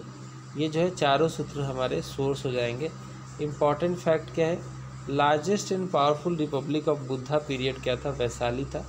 बज्जियों का था ये। According to Puranas the first dynasty to rule Magadha was ये था बृहदर्थ डायनेस्टी पुरानों के हिसाब से पहली जो डायनेस्टी थी जिसने रूल किया था मगध पे, वो था Brihadratha dynasty according to Buddhist text the first majestic ruler of Magadha था बिम्बिसार जिसने जिसने कहीं ना कहीं मगध को काफ़ी ऊंचाइयों तक पहुँचाया। इसका पुत्र था अजात शत्रु। और ये दोनों जो थे, ये ये दोनों बिलोंग करते थे हरियक डायनेस्टी से। बिम्बिसार ही फाउंडर था हरियक डायनेस्टी का।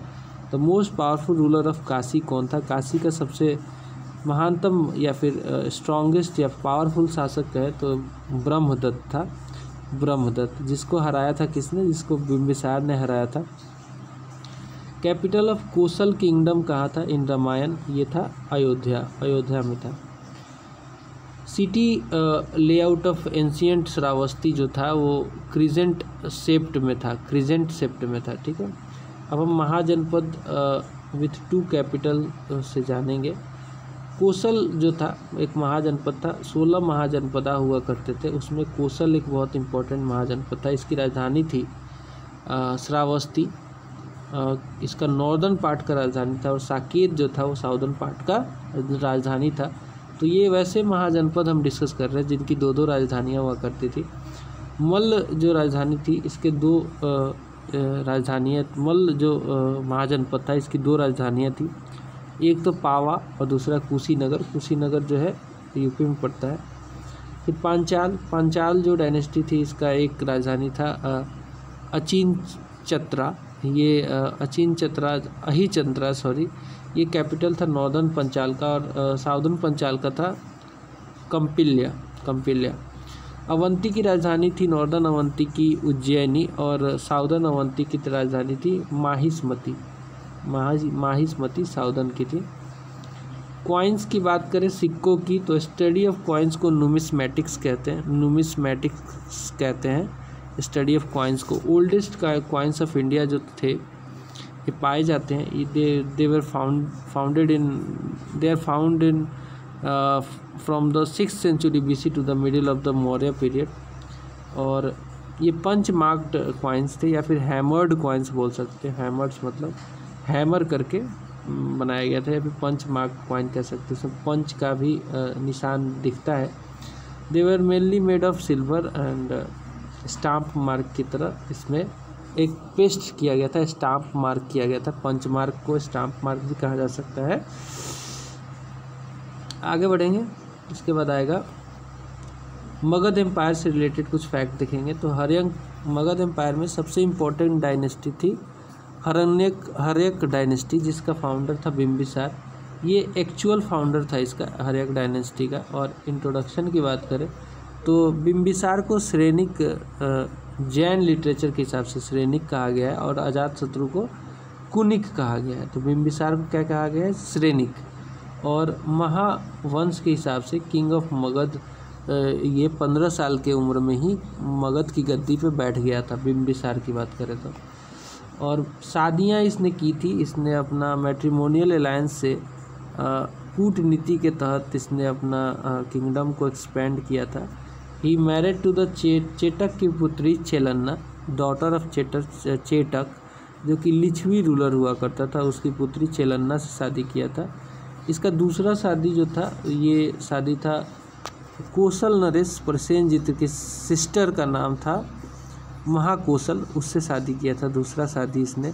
और इसने पंजाब में भी शादी किया था। पंजाब की राजधानी सॉरी पंजाब की मद्र जो प्रिंसेस थी मध्य राज्य पंजाब में हुआ करता था। उसकी प्रिंसेस खेमा से इसने शादी किया था। तो मैट्रीमोनियल अलायंस बना के अपनी दूरदर्शिता को इसने पेश किया था। इसने अपनी कूटनीति दिखाई थी। वार जो है, इसने हराया था ब्रह्मदत्त को, जो कि अंग का शासक था और अंग को मिला लिया था, ठीक है? अजात शत्रु इसका पुत्र था और इसका दूसरा जो नाम है, कुनिक इसको कहा जाता है अजात शत्रु को। इसने भी शादी किया था किससे? प्रसेनजीत, जो कि, जिसकी डॉटर थी वजीरा वजीरा से शादी किया था और इसी के समय चार सौ तिरासी बीसी में इसी के समय चार सौ तिरासी बीसी में फ़र्स्ट बुद्धिस्ट काउंसिल ऑर्गेनाइज किया गया था। इसका पुत्र था अजात शत्रु का पुत्र था उदयन। उदयन ने पाटलिपुत्र इम्पोर्टेंट क्या है? पाटलिपुत्र का जो इस्टेब्लिशमेंट है वो उदयन ने ही कराया था। हालाँकि घेराबंदी जो है आ, जो है पाटलिपुत्रा की पट पटाली गाँव हुआ करता था। उसकी घेराबंदी ज़रूर या फिर छावनी जो कह सकते हैं वो अजात शत्रु ने बनवाया था, लेकिन अगर इस्टेब्लिशमेंट की बात की जाए, इस पाटलिपुत्रा की तो वो उदयन ही था जिसने इसको इस्टेब्लिश किया था। और मगध की राजधानी भी बनाया था पाटलिपुत्रा को। ट्रांसफ़र कर दिया था एक्चुअली राजगिरी पहले राजधानी हुआ करती थी, उसको ट्रांसफ़र करके ये ले, लेके आया था पाटलिपुत्रा। इसलिए उदयन काफ़ी फ़ेमस हो जाता है पाटलिपुत्रा से रिलेटेड मगध डायनेस्टी का जब पतन हुआ तो शिशुनाग डायनेस्टी का इस्टेब्लिशमेंट हुआ। इसका फाउंडर शिशुनाग ही था।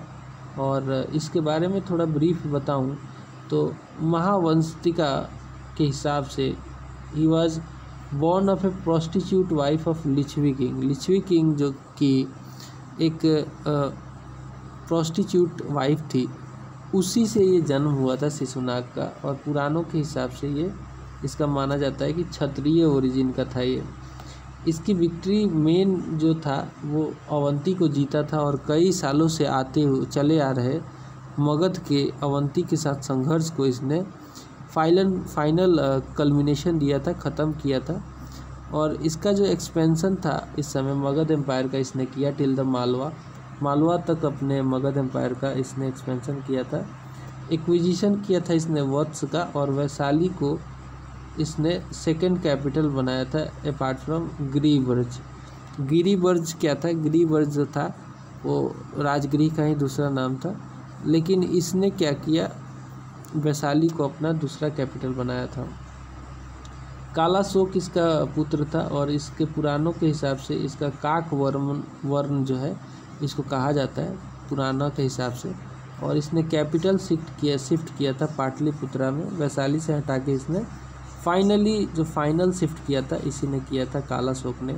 और इसी के समय जो है इम्पोर्टेंट क्या हो जाता है? सेकेंड बुद्धिस्ट काउंसिल तीन सौ तिरासी बी में सबक करीम के सबक करीम के समय में, इसी के समय में अध्यक्षता में सभा कमी के अध्यक्षता में इसको किया गया था। नंद डायनेस्टी के बताया था शिशुनाग के बाद। और इसका फाउंडर था महापदम नंद। इसका कुछ अदर नाम भी है, इसका कई सारा नाम है, जैसे कि डिस्ट्रॉयड ऑफ़ ऑल छत्रिया यानी सर्व छत्रम तक इसको कहा जाता है।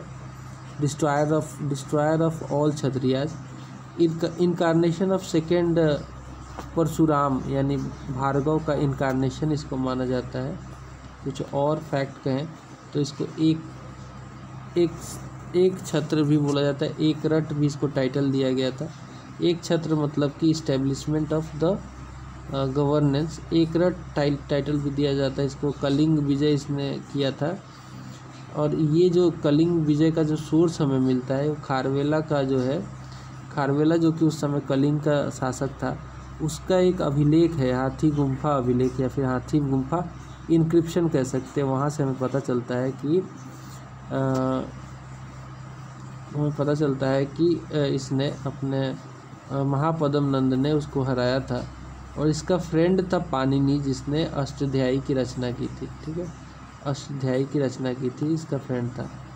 धनानंद जो है लास्ट किंग था, नंद डायनेस्टी का। काफ़ी ताकतवर था ये, लेकिन काफ़ी वो था, हठी था।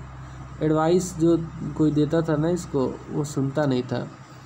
अग्री मीज सन ऑफ़ उग्रसेन था सोर्स ग्रीक राइटर के हिसाब से। अलेक्जेंडर्स इसके कंटेम्प्रोरी था और अलेक्जेंडर को जब पता चला कि धनानंद बैठा है और काफ़ी ताकतवर है तो अलेक्जेंडर की सेना ने एक्चुअली मना कर दिया आगे जाने से। थक भी गई थी सेना अलेक्जेंडर की, लेकिन उसमें बड़ा उनके मोरल डाउन करने का काम जो था, वो धनानंद के साख ने किया था, उसके मतलब बड़े नाम ने किया था।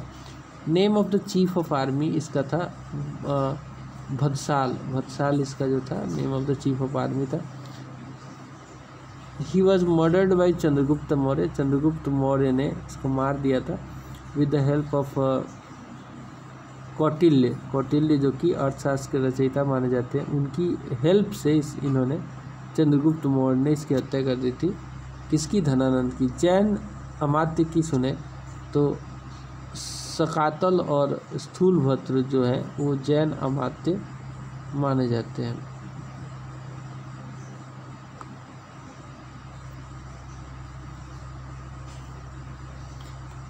कुछ और इम्पोर्टेंट फैक्ट देख लेते हैं। New script birth in territories of north western India as a result of Persian contact ये हुआ था इस स्क्रिप्ट को बोलते हैं Kharosthi script Kharosthi script next है फिजिशियन ऑफ़ अंतरा अंतर, अंतरजरासिस वाज टेरिसियस, terrace. Son of Macedonian king Philip two कौन था? एलेक्जेंडर तृतीय, यानी कि सिकंदर था। मकदूनियन किंग फिलिप दो का बेटा था ये। Capital of republic of Ashvaka था, Massaga Massaga. Purus stage state was settled in middle of the Jhelum and Chenab और पुरुओं से ही पुरु जो स्टेट है, उसका शासक था पोरस। पोरस की लड़ाई हुई थी सिकंदर से। एक गाना है ना, सिकंदर ने पोरस से की थी लड़ाई। जो की थी लड़ाई तो मैं क्या करूँ? तो पोरस की लड़ाई हुई थी अलेक्जेंडर से on the bank of river Jhelum Alexander से रिलेटेड कुछ और फैक्ट की बात करें तो he was contemporary of Dhanananda he demolished the अकमेडियन अकमेडियन empire Alexander ने ही इसको डिमोलिश किया था। And he established एलेक्जेंडरी bushy फेलस city and इसका देहांत जो है तीन सौ तीस, तेईस बीसी में घोड़े से गिर के इसका देहांत हो गया था। फिर अब हम देखेंगे चंद्रगुप्त मौर्य के बारे में। आगे बढ़ते हैं और बात करते हैं मौर्यन डायनेस्टी की। तो मौर्यन डायनेस्टी में सबसे पहले आप जानिए कि मौर्य डायनेस्टी के फाउंडर थे चंद्रगुप्त मौर्य। चंद्रगुप्त मौर्य से रिलेटेड कुछ इंडियन सोर्स में हमें इंफॉर्मेशन मिलता है और कुछ फॉरेन सोर्स में मिलता है। तो इंडियन सोर्स के हिसाब से he was the founder of modern dynasty and he integrated the India he integrated India as one political unit first time and Nandaraj son Vrishala Vrishala and कुलहीना ये ऐसा इनको बोला जाता है नंदराज सन ब्रिशला, ब्रिश, ब्रिशला और कुलहीन, ये ऐसा माना जाता है as per the Mudrarakshasa जो कि लिखी गई है विशाख दत्त के द्वारा। विशाख दत्त के द्वारा लिखी गई मुद्रा राक्षस के हिसाब से ये सब ऐसा माना जाता है। And he was related to royalty as per Buddhist text Mahabodhi Vamsa के हिसाब से। He was related to royalty and Shudra lineage का माना जाता है एज पर द बृहत बृहत, बृहतक थमरा, थमंजर जरी एंड कथा सरी सरित सागर के हिसाब से शूद्र माना गया है इनको। He was son of the daughter of head of the peacock feeder village ऐसा माना जाता है परिशिष्ट परवन बाई हेमचंद्र के द्वारा लिखी गई है, ये ऐसा माना जाता है।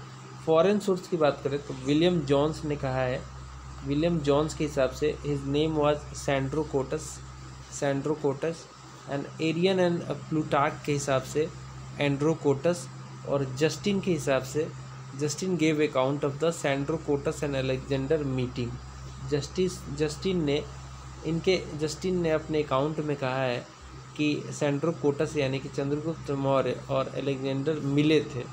Credit for conquest of south India as per the Tamil literature Ahana Ahana Nuru and Purananuru के हिसाब से माना जाता है। He defeated Seleucus Nicator Seleucus Nicator को हराया और the eastern ruler of the Alexander kingdom था ये Seleucus Nicator extent of empire की बात करें तो चंद्रगुप्त मौर्य के समय मगध एम्पायर जो था, वो इसका एम्पायर मौर्यन एम्पायर ये अप टू हिमालय था नॉर्थ में साउथ में टिल मैसूर तक था वेस्ट में टिल हिंदू कुश तक था और ईस्ट में बे ऑफ़ बंगाल तक था।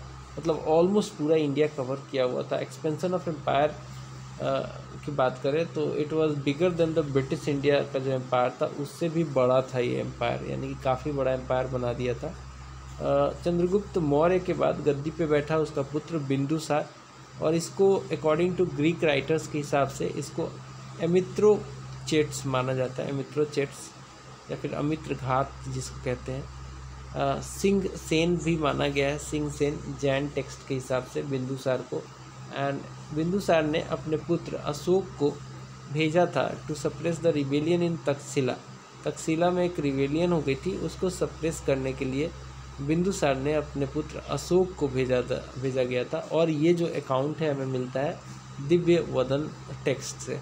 According to Strabo Syria king Strabo जो था सीरिया के स्ट्रैबो के हिसाब से सीरिया का जो किंग था एंटीओकस उसने अपना एम्बासडर जिसका नाम था डिमैकस डिमैकस को भेजा था बिंदुसार के कोर्ट में और ये आया था। अराइवल ऑफ़ इजिप्टियन किंग प्लो टोलमी टोलमी ड्यूटिए एम्बासडर भेजा था अपना डाइनीसियस भेजा था। ये हमें पता चलता है एज़ पर प्लीनी के हिसाब से। सो थ्री डिमांड इसने बोला था सीरिया के राजा को एंटीयोकस को बिंदुसार ने तीन डिमांड के लिए बोला था, तीन डिमांड मांग, मांगा था। एक तो स्वीट अल्कोहल दूसरा ड्राइड फिग्स और तीसरा बोला था कि एक सूफी भेज देना दैट इज़ फिलोसोफर ये तीन डिमांड में से दो तो पूरा हो गया था स्वीट अल्कोहल और ड्राइड फिग वाला बट फिलोसोफर नहीं भेजा एंटीओकस ने और इसका रीज़न दिया कि वो अपने फिलोसोफर को कहीं नहीं भेजते हैं। अलाउड नहीं है उनके शासन में। फैक्ट्स अबाउट इम्पेयर अशोका की बात करें, so according to the Buddhist evidence, Ashoka was provincial governor of this province during the rule of his father, Avanti का शासक था। रूल से पहले, अशोका अपनी गद्दी पर बैठने से पहले, मौर्यन गद्दी पर बैठने से पहले ये अवंती जो प्रोविंस था, उसका शासक था, अवंती की राजधानी थी उज्जैन। एंड अशोका ने ही प्रोपाउंड किया था धम्मा की नीति को। और अशोका गद्दी पे बैठा, कब दो सौ तिहत्तर में किंग बैठा और अपना कोरोनेशन कोरोनेशन जो है, वो करवाया था इसने two seventy nine to sixty nine B में। इसका मतलब ये चार साल तक काफ़ी स्ट्रगल किया गद्दी को पाने के लिए। ऐसा बोला जाता है कि अपने निन्यानवे भाइयों को मार दिया था अशोका ने, ऐसा माना जाता है। बट कितनी सच्चाई है इसमें एक्चुअली उतना क्लैरिटी नहीं है। जैनिज़्म के हिसाब से ये सही है और बुद्धिज़्म के हिसाब से ये गलत है ऐसा तो फिर कुछ क्लियर नहीं है। Name of Ashoka in Purana Purana में अशोका का नाम है अशोक वर्धन एंड इसके समय में third council of Buddhism organise हुआ था अशोक के समय ही। Ashoka initiation into Buddhism Nigrodha is mentioned in Dipavamsa Mahavamsa में ये मेंशन किया गया। दीप वंश और महावंश जो है श्रीलंका का टेक्स्ट था, श्रीलंका, उस समय सेलन कहा जाता था उसको। Ashoka initiation into Buddhism by Upagupta is mentioned in Divyavadana Divya वदन के हिसाब से अशोका का जो बुद्धिज़्म में कन्वर्जन या फिर इनिशिएशन है, वो किसने करवाया था? वो करवाया था, उपगुप्त ने करवाया था। अशोका और अशोक और दशरथ जो थे, ये दोनों फॉलोअर थे बुद्धिज़्म के। अशोक और दशरथ दोनों जो थे, ये दोनों ही फॉलोअर थे बुद्धिज़्म के। तो आगे पढ़ लेते हैं। इम्पेयर अशोका से रिलेटेड कुछ और कहानियाँ देखते हैं। अशोका ने कई सारे एडिक्ट्स अपने एडिक्ट्स दिए थे। वो एडिक्ट्स जो है, कई सारे रॉक एडिक्ट हैं, कई सारा इंक्रिप्शन है और कई सारा केव इंक्रिप्शन है। इन तीनों माध्यम के तहत अशोका ने अपना एडिक्ट अपना फरमान, अपना एडिक्ट जो है भेजा था। So a set of fourteen different articles obtain from eight places mostly in the Prakrit language and Brahmi script rock edict की बात करें तो सबसे इंपॉर्टेंट है भाबरू भाबरू जो है बेरत में है, ये एक रॉक एडिक्ट है। इसमें क्या बातें हुई हैं, क्या बातें लिखी गई हैं? It talked about his faith in Buddha इस भाबरू वाले में ऐसी बातें की गई हैं कि अशोका जो है, उसको फेथ था बुद्धा में धम्मा में और संघ में। बुद्ध धर्म और संघ जो था, ये त्रिरत्न था। ये त्रिरत्न था किसका? ये त्रिरत्न था बुद्धिज़्म का। तो इसमें ये बताया गया भाबरू बैरत वाले रॉक डिक्ट में कि इसको ये त्रिरत्न यानी कि बुद्ध धर्म और संघ में इसको विश्वास था। ठीक है, इसके आगे है कि Ashoka called himself king in king of Magadha ये हमें पता चलता है अशोक के रॉक एडिक्ट भाबरू वाले से। इनक्रिप्शंस की बात करें तो इंक्रिप्शन में टोटल चौदह इंक्रिप्शन क्या है? A set of fourteen different articles जो है ऑप्टेन किए गए हैं आठ places mostly in Prakrit language and Brahmi script में। ये इंक्रिप्शन में इसके मिला है। केव इंक्रिप्शन भी इसका है तो चलिए कोई नहीं, इसको देखेंगे। कलिंग वार अशोका के समय का सबसे इम्पोर्टेंट जो इवेंट हुआ, वो कलिंग वार हुआ। ये कलिंग वार जो है, दो सौ इकसठ बी में हुआ। यानी कि इसके जो इसका कोरोनेशन है अशोका का, जो कि 269 बीसी था तो उसमें आठ साल बाद, आठ साल बाद ये कलिंग वार हुआ था दो सौ इकसठ बी में। And the first big event है ये अशोका के रेन का। एंड इसमें जीता तो अशोका ही, लेकिन अशोक का हृदय परिवर्तन हो गया बिकॉज़ इसमें लाखों लोग मारे गए थे। और कलिंग वार का जो ज़िक्र है हमें बहुत डिटेल में मिलता है, अशोक के तेरहवें पिलर इंक्रिप्शन से। अशोक के तेरहवें पिलर इंक्रिप्शन से हमें पता चलता है कि कलिंग वारिस ने जीता था।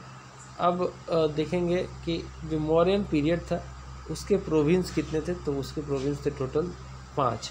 पाँच प्रोविंस थे और पाँचों प्रोविंस की अलग अलग कैपिटल थी। उत्तर पथ जो था, उसका राजधानी था तक्षशिला। अवंती पथ जो था, उसका राजधानी था उज्जैन। कलिंग की राजधानी तोसली थी। दक्षिण पथ की राजधानी सुवर्णगिरी थी और प्राच्या या फिर ईस्टर्न प्रोविंस की राजधानी थी पाटलिपुत्रा। तो ये आपको पाँचों प्रोविंस आपको याद रखना पड़ेगा उसका कैपिटल के साथ। अब हम देखेंगे five great kings with cordial relation thirteenth inscription के हिसाब से। तेरहवा जो इंक्रिप्शन है, अशोका का, उसके हिसाब से पाँच ग्रे ग्रीक किंग है जिनका कॉर्डियल रिलेशन था थर्टीनथ इंक्रिप्शन के हिसाब से। इसमें पहला है एलेक्जेंडर इसको अलिको अलिका सुदारो भी बोलते हैं, और इपिरस इपिरस इसका नाम था।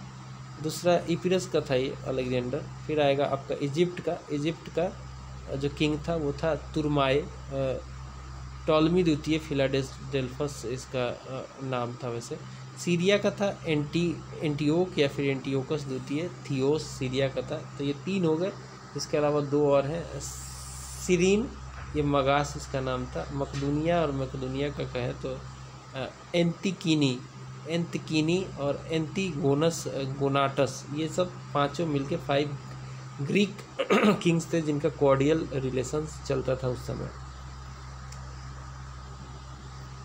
फिर हम बात करें अगर सोगौरा कॉपर प्लेट इंक्रिप्शन की जो कि सोगौरा जो है, ये गोरखपुर से हमें प्राप्त हुआ है और महास्थान इंक्रिप्शन बोगरा, बांग्लादेश से। इसमें हमें मिलता है ये सब प्राकृत लैंग्वेज में रिटर्न है और ब्राह्मी स्क्रिप्ट में ये रिटर्न है। कोर्ट को कोर्ट को मगध मॉडर्न पीरियड में अलग अलग नाम से जाना जाता था। जैसे सिविल कोर्ट को धर्म स्थिया बोला जाता था और क्रिमिनल कोर्ट को कंटक शोधन इसको बोला जाता था। इंटेलिजेंस में संस्था जो था, वो एक living in the same place था और संचार जो था, ये जो इंटेलिजेंस कलेक्ट करते थे, ये रोम करते थे, यानी कि हर जगह घूमते रहते थे। Megasthenes important very important Megasthenes Seleucus Nicator का दूध था, जो कि चंद्रगुप्त मौर्य के दरबार में रहता था। इसने म्यूनिसिपल एडमिनिस्ट्रेशन के बारे में लिखा है स्पेशली पाटलिपुत्रा का। तो इसने बताया है कि एडमिनिस्ट्रेशन जो था, पाटलिपुत्र सिटी का, वो छः कमेटियों के द्वारा किया जाता था, जिसमें तीस मेंबर थे, यानी कि हर कमेटी में पाँच मेंबर थे, टोटल छः कमेटियाँ तो पाँच गुने छः तीस मेंबर थे टोटल। पाँच मेंबर थे ईच कमेटी में। थर्ड कमेटी जो थी, वो सेंसस कमेटी थी। सिक्स कमेटी जो थी, वो उसका काम था सेल्स टैक्स को कलेक्ट करना कलेक्ट करना और capital punishment for tax evasion दिया जाता था। कई बार तो एम्प्यूट कर लिया जाता था कई सारे अंग को। कैपिटल पनिशमेंट के तौर पे टैक्स इवेशन बहुत बड़ा अपराध माना जाता था। पाटलिपुत्रा में specially. Name of the cities official जो था, वो था अस्टियोनोमई अस्टियोनोमोई इसका सिटी ऑफिशियल्स का नाम हुआ करता था। फिर अगर बात करें इंडियन सोसाइटी की तो मेगास्थनीज के हिसाब से Indian society was divided into seven categories that is one number one is philosopher number two is farmer number three is animal keepers number four is artisan number five is warrior number six is inspector and number seven is minister इस सात category में Indian society को उसने बांटा था। And they were lack of practice of साल slave tradition Megasthenes के हिसाब से मॉडर्न पीरियड में स्लेव ट्रेडिशन नहीं था। And no person could marry outside his caste और हैव ए डिफरेंट प्रोफेशन ये भी थोड़ा फ़ेमस था उस समय। चाणक्य की बात करें। हम जानेंगे चाणक्य के बारे में। चाणक्य ऐसे महान व्यक्ति थे जिन्होंने जिन्होंने मदद किया था किसका? चंद्रगुप्त मौर्य का। गद्दी पे बिठाने में मौर्यन डायनेस्टी के, ठीक है? मगध मगध के गद्दी पे बिठाने में बहुत बड़ा हेल्प था चाणक्य सो ऋषि चणक जो थे, उनका ऋषिक Chanak named his son Chanakya. Chanak ऋषिक ने अपने पुत्र का नाम चाणक्य रखा था। कौटिल्य भी इनका नाम है और विष्णुगुप्त भी इन्हीं का नाम है चनक का ही। They were associated with the Chanakya only इन्हीं का नाम है। चाणक्य को चाणक्य को कौटिल्य या फिर विष्णुगुप्त भी कहा जाता है। तो टोटल तीन नामों से जाना जाता है। नेम इन पुराना पुराना में इनका नाम जो है द्विजर सभा द्विजर सभा कहा गया सुपेरियर ब्राह्मण अर्थशास्त्र जो है, ये इसके रचयिता थे Chanakya it is the book of principle of governance इसमें डिस्क्रिप्शन दिया गया है सप्तांग सिस्टम ऑफ़ स्टेट ठीक है? सप्तांग सिस्टम क्या है? देख लीजिए। सप्तांग में एक तो किंग होगा, दूसरा होगा अमात्य, तीसरा होगा सिटी यानी कि जनपद, चौथा होगा दुर्ग, यानी कि फोर्ट पांचवा होगा फंड यानी कि कोष, छठा होगा पनिशमेंट यानी कि दंड, और सातवां होगा फ्रेंड यानी कि मित्र। अदर रिलेटेड फैक्ट्स की बात करें तो अर्थशास्त्र जो है इट अर्थशास्त्र ने परमिशन दिया है। For divorce to wife abandon by her husband wife can leave her husband if he has some defect in in his body और have been living in the foreign for long time foreigners were accepted as fallen Kshatriyas fallen Kshatriyas by Manu in Indian society फिर अगर बात करें हम Sarnath pillar की, जो कि related है किससे? जो कि रिलेटेड है सारनाथ पिलर ये अशोका से। तो ये कंस्ट्रक्ट किया था इम्पेरर अशोका ने। Top of this column is called lion capital क्योंकि लायन का जो है ना उसमें मूर्ति है। Lion capital has been adopted as the national album emblem of India lion figurine on top of pillar is symbol of power symbol of power है, ठीक है? Very important facts James Prinsep ने फ़र्स्ट स्कॉलर थे, जिन्होंने decipher किया था Ashokan encryption को। अठारह सौ सैंतीस में Kharosthi script is written from right to left ठीक है? खरोस्टी स्क्रिप्ट जो है, इसको राइट टू लेफ़्ट में लिखा गया है। एंड अनुराधापुर अनुराधापुर अनुराधापुर यानी कि श्रीलंका, और श्रीलंका का ही नाम था अनुराधापुर। ये जो है एविडेंस ऑफ़ प्राकृत अशोक ब्राह्मी, अशोका के ब्राह्मी स्क्रिप्ट का भी यहाँ पे जो है मिला है एविडेंस एंड मस्की में अशोका का नाम जो है मस्की वाला जो आ, पिलर है मस्की वाला गुर्जरा नेतूर और उदगांव इनक्रिप्शन में मस्की गुर्जर नेतूर उद उदगोलन उदगोलम इनक्रिप्शन में अशोका का नाम जो है मेंशन है. Author of Indica Megasthenes Megasthenes जो था, सेलुकस निकेटर का एम्बास्टर था, जिसने इंडिका लिखा। और इंडिका बेसिकली एक ऐसी बुक है, जिसमें पटना के बारे में बहुत बृहद जानकारी मिलती है। तकसीला क्या था? It was the most famous centre of education in modern modern times आगे बढ़ते हैं और देखेंगे important people of the modern period and their names तो चाणक्य का नाम जो है, विष्णुगुप्त भी था। अशोका का नाम पियादासी था। चंद्रगुप्त का नाम था सैंड्रो कोटस और बिंदुसार का अमित्र घात। अमित्र घात यानी कि slayer of enemy post modern period की बात करें तो एग्ज़ाम दृष्टि से के पर्सपेक्टिव से there is a marking on the coins of Yaudheyas Yaudheyas of Kartikeya propagation of gold coins in west India was done by answer होगा Indo Greek kings the practice of child marriage started in Kushana period first century AD glass coins were issued by Strato द्वितीय Strato द्वितीय फिर आएगा संकर Sankarshana Sankarshana and Vasudeva are inscribed on the coin of the Agathocles Agathocles Bamiyan of Afghanistan was famous for Buddha statue the first Iranian ruler who annex some part of India was Darius one Darius one जिसका काल था 522 से लेकर चार सौ छियासी का। चलिए अब देखेंगे हम पोस्ट मॉडर्न पीरियड से related Rudradaman Junagadh encryption इससे सवाल बनता है आज भी बन रहा है पहले भी बनता था। सो so, इनका जो इंक्रिप्शन है it was found at Girnar mountain of Gujarat Sanskrit language में लिखा गया है ब्राह्मी स्क्रिप्ट है। ये one of the oldest Sanskrit inscription है। Oldest specimen of Sanskrit poetry style में इसमें लिखा गया है। मेन पर्पस क्या है इसका? To keep the records of reconstruction of Sudarshan lake safe इसमें जो है, रुद्र दमन का जो है, ये जो इंक्रिप्शन है, इसका मेन पर्पस है to keep the records of the reconstruction of Sudarshan lake safe ruler of Kalinga की बात करें तो इसका फाउंडर था महामेघवर वहान। Kharavela was the one of the greatest emperor according to the Hathigumpha अभिलेख। He made Pandya ruler to plough field using donkey leaning towards Jain religion Kharavela जो थे रूलर जो थे खारवेला के, वो सब जैन रिलीजन को मानते थे फॉलो करते थे। गांधार स्टाइल क्या है? Development of development during reign of Kanishka जो गांधार स्टाइल था ये मूर्ति कला वगैरह से संबंधित था जिसमें गौतम बुद्धा की मूर्ति काफ़ी ही डिटेल में बनाई गई है।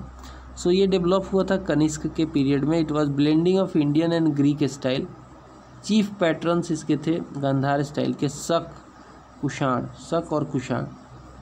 It used bluish grey and grey sandstone for sculptures Sunga dynasty का फाउंडर था, पुष्यमित्र सुंग, ब्राह्मीण ऑफ़ भारद्वाज गोत्र का था ये according to Panini and Patanjali जो था, पुरोहित था पुष्यमित्र का, पुष्यमित्र सुंग का पुरोहित था पतंजलि। योग सूत्र का रचयिता। लास्ट किंग था इसका देवभूति। अयोध्या इंक्रिप्शन के हिसाब से पुष्यमित्र, मित्र जो था, उसने दो अश्वमेघ यज्ञ करवाया था। दो अश्वमेघ यज्ञ करवाया था। अब हम देखेंगे कजुल कडफिसस के बारे में। उसने, कजुल कडफिसस ने कॉपर कॉइन्स ओनली इशू किए थे गोल्ड कॉइन नहीं किया था। एंड धर्म धर्माथिदास एंड धर्म धर्म हित इमो, in engraved on the coins Vima Kadphises की बात करें तो he issued gold and copper coins both Shaiva था ये, शिवा को इसके क्वाइंस पे शिवा, त्रिशूल और नंदी का सेप जो है मिलता है। कुषाण डायनेस्टी का जो इम्पोर्टेंट है, उसका फाउंड कनिष्क है। कनिष्क बहुत ही फ़ेमस रूलर था कुषाण डायनेस्टी का। नगार्जुन, परसवा, चरक वगैरह उसके कोर्ट में थे। Buddha marking on coins Buddha marking on coins इसके कॉइन्स पे मिला है। रॉयल पेट्रोनेज दिया था इसने वसुमित्र को। राज कवि था इसका अशोक घोष राज कवि था अशोक घोष। फिर आएगा सातवाहन डायनेस्टी, इसका एक्चुअल कैपिटल था पैठान, यानी कि प्रतिष्ठ प्रतिष्ठानपुरी इनिशियल कैपिटल इसका था अमरावती। एंड सतकर्णी वन जो है फ़र्स्ट सतवाहन किंग था, जिसने होल्ड किया था सतकर्णी टाइटल गौतमी पुत्र सतकर्णी ये जो था, इसने री किया था fragmented Chaturvarnya that is varna system को री इस्टेब्लिश किया था। ये प्रोटेक्टर था वर्ण सिस्टम का। टाइटल ऑफ़ अद्वैत ब्राह्मण, इसको नासिक इंक्रिप्शन के हिसाब से टाइटल दिया गया और प्रोटेक्टर था ये बेदास का। बेदास का प्रोटेक्टर था। हम लोग post modern period post modern period में पहले देखेंगे रुद्र दमन का। रुद्र दमन का जूनागढ़ का इंक्रिप्शन ये जो जूनागढ़ का इंक्रिप्शन है रुद्र दमन का, ये गिरनार जो माउंटेन है गुजरात में ये मिला है। एंड ये जो है संस्कृत लैंग्वेज में है और ब्राह्मी स्क्रिप्ट में है। ये ओल्डेस्ट एमंग संस्कृत इंक्रिप्शन इसको माना जाता है और कई बार ये पूछा भी गया है which of the following inscription is oldest among the Sanskrit inscription तो आंसर होता है इसका Rudradaman Junagadh inscription oldest specimen देखा गया है संस्कृति संस्कृत पोइट्री स्टाइल का।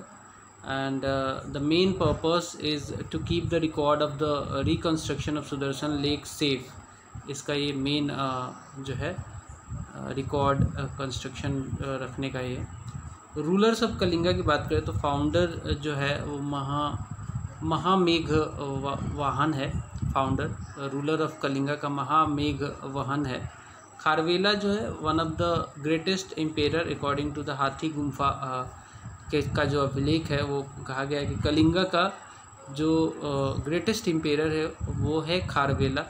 And he made Pandya ruler to plough field using donkeys and leaning towards Jain religion ये जैन रिलीजन को थोड़ा सा लीन था ये।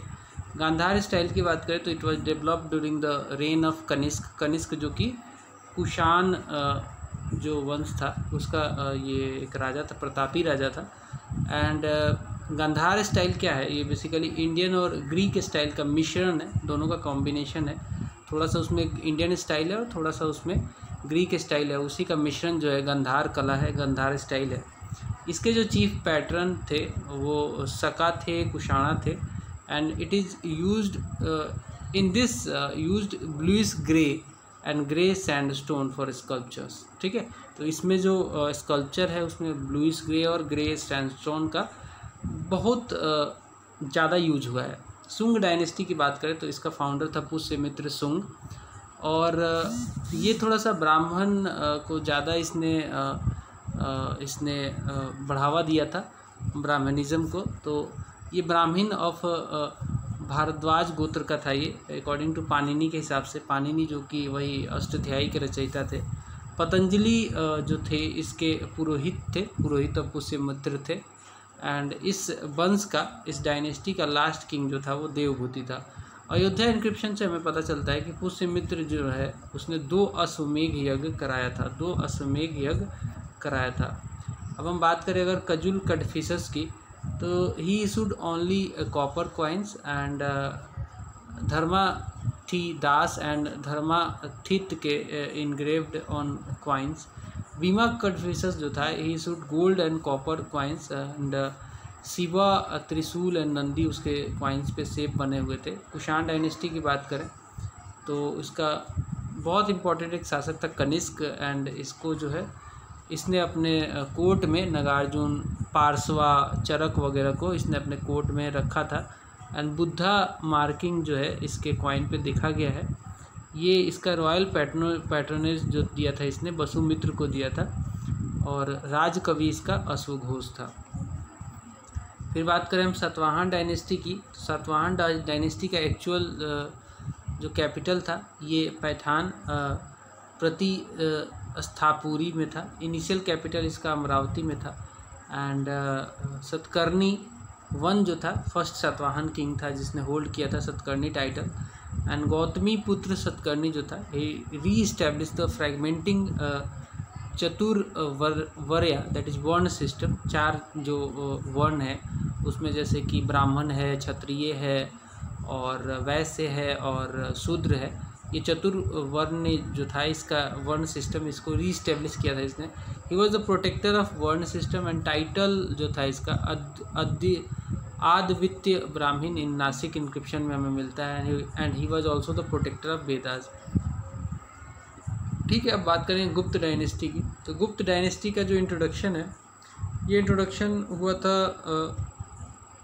इंट्रोडक्शन की बात करें तो इसमें ये डायनेस्टी ने रूल किया था ओवरऑल 275 से लेकर 550 एडी तक। एंड इसका जो फाउंडर था, इसका फाउंडर था श्री गुप्त श्री गुप्त। और इसने 275 एडी में इसको फाउंड किया था। बट फ़र्स्ट जो पावरफुल फाउंडर था रूलर था इसका, गुप्त डायनेस्टी का, वो चंद्रगुप्त वन था। और इसने रूल किया था 319 से लेकर 335 एडी तक।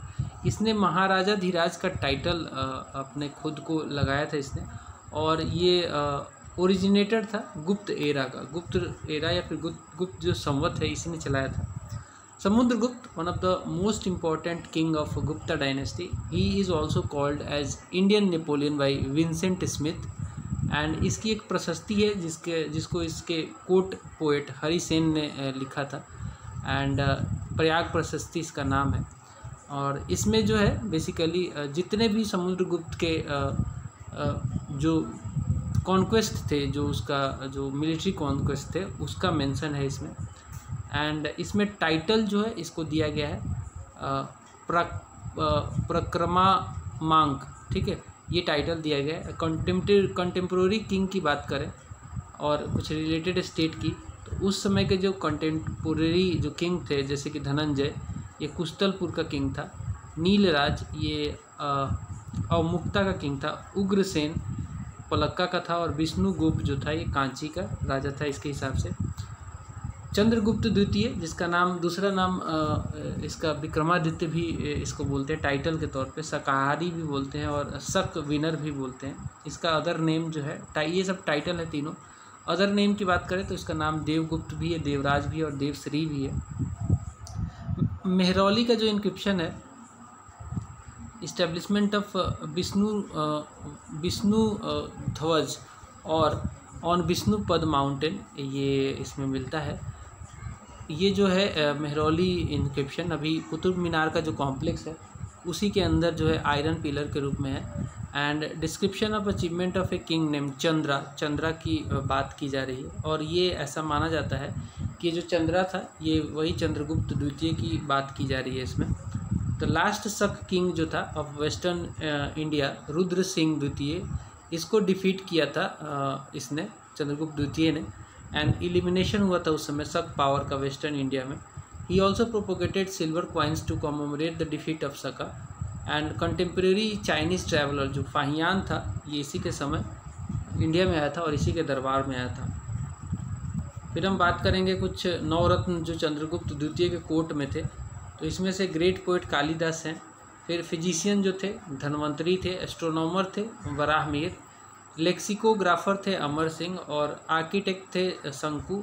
एस्ट्रोलॉजर थे सपना का सपना का और ग्रामेरियन थे वारा रुचि और म्यूजिशियन थे, वतल भत्ता और डिप्लोमेट थे घटकार पार घटकार पार कुमार गुप्त वन इसके बाद गद्दी पे बैठे और इनका टाइटल था महेंद्रादित्य। महेंद्रादित्य इनका टाइटल था। He was born to the Dhruv Devi wife of Chandragupta द्वितीय and most number of Gupta period inscription of of his period इसी के पीरियड में मैक्सिमम जो है इंक्रिप्शन पाए गए हैं। और कॉपर प्लेट इंक्रिप्शन रिसीव किया गया है धन, धनदाई और दामोदरपुर और बैगराम से। Gold silver and copper coins इसके समय के मिले हैं। बिलसद बिलसद जो इंक्रिप्शन है जिनोलॉजी दिखाता है गुप्त राजाओं का, टिल कुमार गुप्त वन तक बिलसत इंक्रिप्शन तो ये भी कई बार पूछता है। स्कंद गुप्त उसके बाद गद्दी पे बैठा, कुमार गुप्त वन के बाद। और इसका जो टाइटल था, ये, इसका टाइटल था क्रमादित्य। क्रमादित्य इसका टाइटल था और इसने गोल्ड कॉइन भी इशू किया था। फ्रंट साइड जो था picture of king carrying bow and arrow इसके समय का जो पिक्चर था। उस पर आगे के तरफ़ किंग का तीर धनुष के साथ पिक्चर था और बैक साइड में लक्ष्मी इन पद्मासना पद्मासना मतलब चुका मुका बैठना जो कहते हैं ना, उस आसन में बैक साइड लक्ष्मी का दिखाया गया पिक्चर श्री स्कंद गुप्त इनग्रेव्ड उस पर लिखा हुआ है। इनग्रेव मतलब खुदा हुआ है उस पर फ़र्स्ट अटैक ऑफ़ हुन जो हुआ था स्कंदगुप्त जीत गया था उसमें।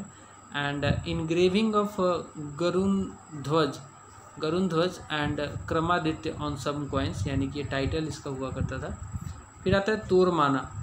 Toramana leader of second Hun invasion of India इसके समय हुआ था, तोरमाना के समय। एरन अभिलेख जो है inscription inscribed on Varaha statue and Dhanya Vishnu feudal lord of Toramana. Mihirakula जो था, तुमराना का सन था और सक्सेसर था। तो तुमराना क्या था? हून से संबंधित था, ठीक है? इकोनॉमी की बात करें, इस समय की गुप्त के पीरियड की तो ताम्र लिप्ति जो था, एक मेजर पोर्ट था बंगाल में। नॉर्थ इंडियन बिज़नेस ऑपरेशन यहाँ से होते थे। Business with south east Asia जो था, ये इसी पोर्ट से हुआ करता था। चाइना, लंका, जावा, सुमात्रा तक जाते थे। फिर बात करें भरूच की तो भरूच जो है, एक मेजर पोर्ट था वेस्टर्न इंडिया का। और मेरी टाइम ट्रेड था उस वेस्टर्न कंट्रीज़ के साथ, इस पोर्ट के साथ। फिर आता है श्रेणीज। श्रेनीज क्या थे? ऑर्गेनाइजेशन ऑफ़ स्पेशल इम्पोर्टेंस के लोगों का एक ऑर्गेनाइजेशन था। They set up the श्रेणीज were set up by traders for smooth trade ठीक है? ये वही था। ट्रेडर ने जो स्मूथ ट्रेड के लिए ग्रुप बनाया था ना, उसी को श्रेणी बोला जाता था। Judicial power over its members इस श्रेणी के हाथों में पावर था जुडिशियल पावर था अपने मेंबर्स को रेगुलेट करने का। And setting standards and prices इसका काम था। एंड सैलरीज भी सेट करता था ये अपने मेंबर का वर्किंग रूल्स वगैरह भी सेट किया करता था श्रेणी। ईच श्रेणी हैज़ इट्स ओन हेड अपना खुद का हेड ये बनाते थे। एंड सेल्फ मेड रूल्स ये खुद का ये बनाते थे। ठीक है? फिर देखेंगे हम एरन अभिलेख जो है first are archival evidence of sati practice ये एरन अभिलेख से मिलता है। ये पूछा जा जा रहा कंटिन्यूसली पूछा जा रहा सवाल है। कि किस अभिलेख से हमें पता चलता है पहला एविडेंस सती प्रैक्टिस का। तो ये फ़र्स्ट आर्चिवल एविडेंस है एरन वाला, जहाँ से सती प्रैक्टिस का साक्ष्य मिलता है। ये रिकॉर्ड जो है 510 एडी का है। मेंशन ऑफ़ सेनापति सेनापति गोपराज वाइफ कमिटिंग सती। ये यही सेनापति गोपराज की वाइफ के कमिटिंग सती का एविडेंस पहला एविडेंस हमें एरन अभिलेख से ही मिलता है। फिर हम बात करें उदरांग। उदरांग क्या था उस समय? उदरांग एक लैंड टैक्स था। वन सिक्स जो रेट था लैंड रेवेन्यू था वन सिक्स जो रेट था, वो रेट ऑफ़ लैंड रेवेन्यू था प्रोड्यूस जो भी प्रोड्यूस होता था, उसका एक बटा छः भाग जो है राजा ले लेता था। फिर आता है बिदक बिदक भागम इरिगेशन टैक्स था एंशेंट इंडिया में। फिर आता है कौसेया, एक सब्सटीट्यूट था फॉर सिल्क फिर आता है संस्कृत जो है वो लैंग्वेज था हाई क्लास का, जो कि गुप्त पीरियड के हाई क्लास के लोग थे, उनका लैंग्वेज था।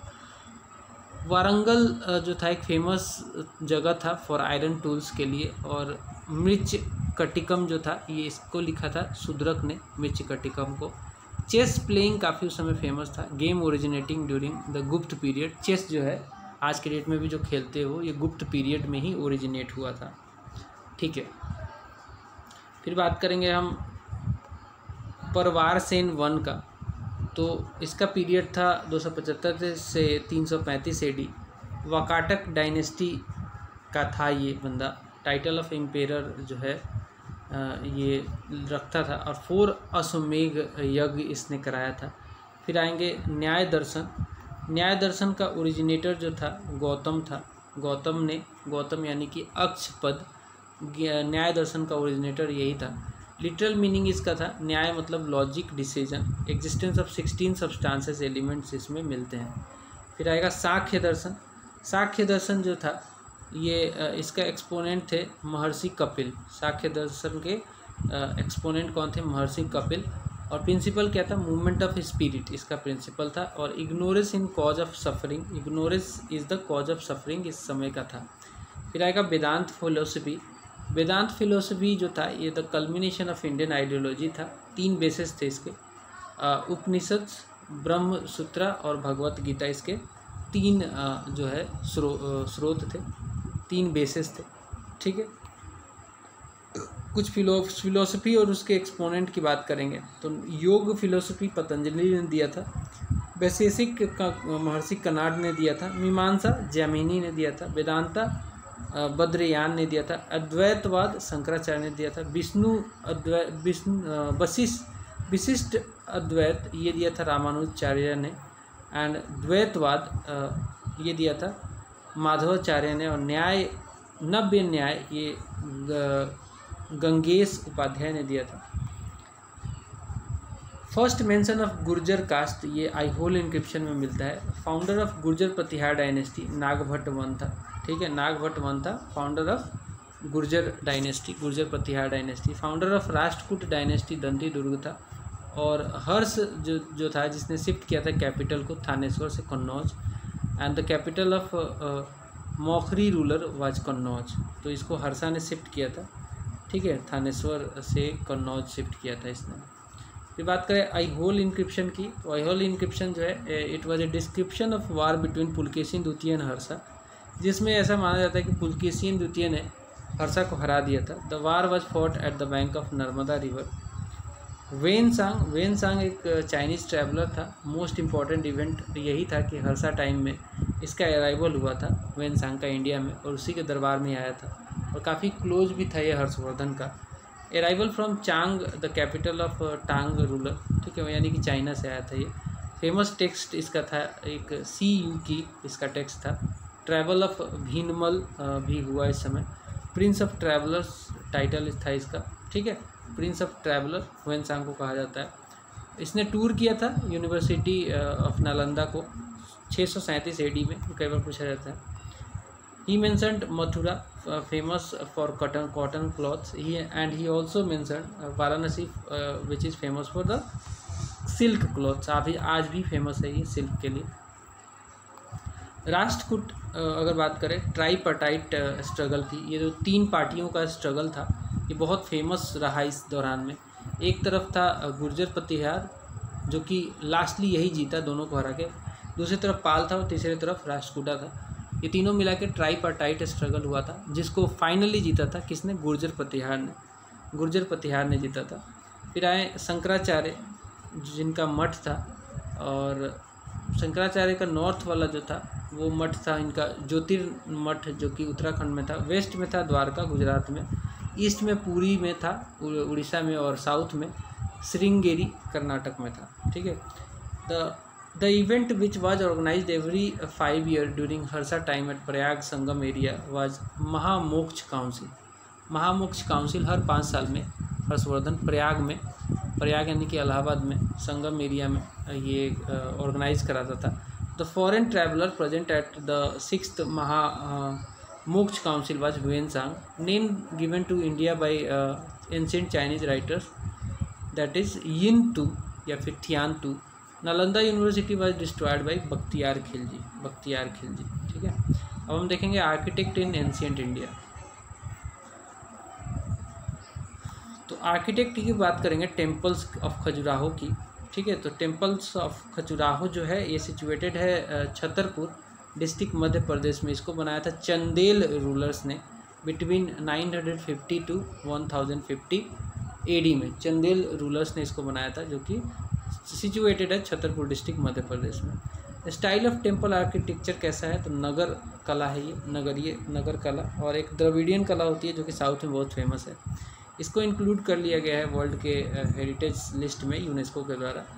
और अदर टेम्पल्स यहाँ पे बात करें तो चौंसठ योगिनी, ब्रह्मा दुल्हा देव टेंपल और जिननाथ टेंपल यहाँ पे है। फिर इसके बाद बात करें कंदरिया महादेव टेंपल ये भी यहीं पे है, खजुराहो में ही है। बेस्ट टेंपल माना जाता है among all Khajuraho temple of that time इस खजुराहो टेंपल में मेंशन किया गया है of the construction of eighty five temples related to Vaishnavism, Shiva, Shakti, Jain religion, ठीक है? फिर अगर बात करें, पासनाथ टेंपल का तो एक जैन टेंपल है, यहीं पे है खजुराहो में, और मंतागेश्वर टेंपल जो है it is dedicated to lord Shiva फिर बात करें एलिफेंटा की तो एलिफेंटा जो है, वो सात केव हैं इसमें टोटल पाँच केव हैं हिंदू रिलीजन से रिलेटेड और दो केव है बुद्धिस्ट रिलीजन से रिलेटेड ये सब केव टेम्पल्स ही हैं। स्टैचू ऑफ़ त्रिमूर्ति शिवा यहीं पे पाया जाता है और टेंपल कंस्ट्रक्शन जो था ये राष्ट्रकूटों का था राष्ट्रकूटों का था। फिर बात करें एलोरा की तो एलोरा का जो लोकेशन है ये औरंगाबाद डिस्ट्रिक्ट महाराष्ट्र में, ये फ़ेमस है केव टेम्पल्स के लिए। यहाँ पे टोटल चौंतीस rock cut cave rock cut caves हैं। एक से लेकर बारह तक जो केव है। इट इज़ एफिलिएटेड विथ मतलब संबंधित है बुद्धिज़्म से। तेरह से उनतीस तक वाला जो केव है it is affiliated with the Hinduism and thirty से थर्टी फोर तक जो केव है, ये जैनिज़्म से। तो तीनों का संबंध है, आप देख सकते हैं। बुद्धिज़्म हिंदुज़म एंड जैनिज़्म तीनों का है। कैलाश मंदिर यहाँ का सबसे फ़ेमस है। रॉक आर्किटेक्चर से बनाया, द्रविडियन स्टाइल है ये। कृष्णा वन, राष्ट्रकूट का जो शासक था कृष्ण वन, इसने इसको कंस्ट्रक्ट कराया था कई बार पूछा भी जाता है। फिर आएगा सन टेंपल कोनार्क वाला, इसको बिल्ड किया था नरसिम्ह देव रमन ने। देव वर्मन ने सॉरी नरसिम्ह देव वर्मन वन छोदा छोदा छोदा गंग छोदा गंग ने इसको कंस्ट्रक्ट कराया था। सात इंडिपेंडेंट स्टैचू है हॉर्स स्टैचू है इसमें, जो कि ऐसा दिखाया गया है, जो खींच रहे हैं रथ को। जनरली ये सन के ही जो है सन जो है हॉर्स पे ही राइड करते थे। ऐसा सिंबोलिज्म में देखा गया है। कंस्ट्रक्शन पीरियड इसका थर्टीन सेंचुरी एडी का है। थर्टीन सेंचुरी एडी का है ये। और टेंपल का जो बेस है, वो ह्यूज प्लेटफॉर्म पे बनाया गया है। Stone sculpted wheels all around इसके बनाए गए हैं। फिर बात करें लिंगराज टेंपल का तो ये उड़ीसा में है। Located in Bhubaneswar, Orissa. And it was built in Nagar style नगरीय कला से बनाया गया है। बेस्ट टेंपल माना गया है। आर्य नगर स्टाइल का। बेस्ट टेंपल माना गया है। आर्य नगर स्टाइल का। द मोस्ट अट्रैक्टिव पार्ट इसका, जो इसका पीक है, वही है। ठीक है? मोस्ट अट्रैक्टिव पार्ट है इसका, जो पीक है, वही इसका मोस्ट अट्रैक्टिव पार्ट है। फिर अगर हम बात करें अंगकोर वत टेंपल का तो ये टेंपल जो है हिंदू टेंपल में दुनिया का सबसे बड़ा टेंपल माना जाता है। World largest Hindu temple group है ये। और इसका जो स्थान है ये असोध यशोधरपुर अंगकोर में है। Located in Kampuchea that is Cambodia Kampuchea जो है पुराना नाम था कम्बोडिया का। It was built in twelfth century by the Suryavarman द्वितीय के द्वारा ये बनाया गया था। And it was dedicated to Vishnu and made in Dravidian style में बनाया गया मतलब साउथ इंडियन स्टाइल में इसको बनाया गया है। फिर अगर हम बात करें टेंपल बिल्डिंग स्टाइल की तो दो तरीके का, तीन तरीके का आपको देखने को मिलेगा। दैट इज़ नगर कला, द्रविडियन कला and Vesara architecture so Nagar style Nagar style is prevalent throughout northern India example है temples of Orissa Dravidian style are prevalent in south India between Krishna river and Kumari foreland Kanyakumari foreland की बात हो रहा। Examples के तौर पे Kailash temple of Ellora is the best example of it Vesara Vesara is basically nothing but the mixture of Dravidian and Nagar style and second name of Chalukya style इसको बोलते हैं. चालुक्य स्टाइल भी बोलते हैं. फिर हम बात करें सोनगिरी का तो it is located near the, दांतिया दांतिया इन मध्य प्रदेश. सोनगिरी जो है, दांतिया मध्य प्रदेश में लोकेटेड है. स्पेशलिटी क्या है? It is a holy place of Jainism and important facts की बात करें तो it is surrounded by white Jain temples white Jain temple से सराउंडेड है. करेंट टेक्स्ट की बात करें तो इसमें सतहत्तर जैन टेंपल है ऑन हिल पे बने हुए हैं. एंड जिसमें से छब्बीस जो है विलेज में है एंड टोटल जो है, इसका नंबर अगर छब्बीस और सतहत्तर जोड़ दिया जाए तो एक सौ तीन नंबर है. सतहत्तर जैन टेंपल हिल पे हैं और छब्बीस विलेज में है. ठीक है, सोनागिरी में. फिर बात करें अदर फैक्ट्स की तो फिफ्टी सेवेंथ जो टेंपल है, वो मेन टेंपल है situated on the hill and it is related to Tirthankar Chandra Prabhu से रिलेटेड है चंद्र प्रभु से रिलेटेड है। फिर हम बात करेंगे टेंपल लोकेशन एंड बिल्डर की। तो दिलवारा जैन टेंपल जो है, इसका लोकेशन है माउंट आबू में। इसको बनाया किसने था? Feudal lord of Bhim Dev one Bimal Shah ने इसको बनाया था। फिर बात करें पलिताना जैन टेंपल की तो it was it is located in Shatrunjay hill that is in Bhavnagar. And if you talk about Modhera uh, Sun Temple that is in Gujarat and it was built by Bhim Devan. then Chariot Temple uh, that is in uh, Mahabalipuram and it was built by Pallav rulers. Uh, then Bihadeswara Temple is in Tanjore and it was built by Raj Raj first. Whereas Virupaksha Temple is in Hampi. Okay so these are the temples which are important one you should know. Then panchayatam panchayatam is a temple constructing style and in which a statue group of four uh, other gods with a god is has been uh, built. तो temple construction style है पंचयतम जिसमें एक god के surrounding में statue चार और gods के बनाए गए हैं। साउथ इंडिया का जो एम्पायर है चोला चालुक्य पल्ला और संगम मेरा इसको थोड़ा सा डिस्कस करते हैं। सबसे पहले तीन संगम हुए हैं साउथ इंडिया में तीन संगम। फ़र्स्ट संगम हुआ था मदुरई में, प्रेसिडेंट थे इसके अगस्त्या ऋषि। सेकेंड संगम हुआ था कपड़ापुरम में, कपता, कपतपुरम या फिर कपड़ापुरम बोलते हैं अलाई वाई में, और इसके प्रेसिडेंट अगस्त ऋषि ही थे, और तुलका पियर भी इसके प्रेसिडेंट थे। थर्ड संगम जो हुआ था, ये मदुरई में हुआ था, और इसके प्रेसिडेंट थे नके, नकरर नकरर इसके प्रेसिडेंट थे।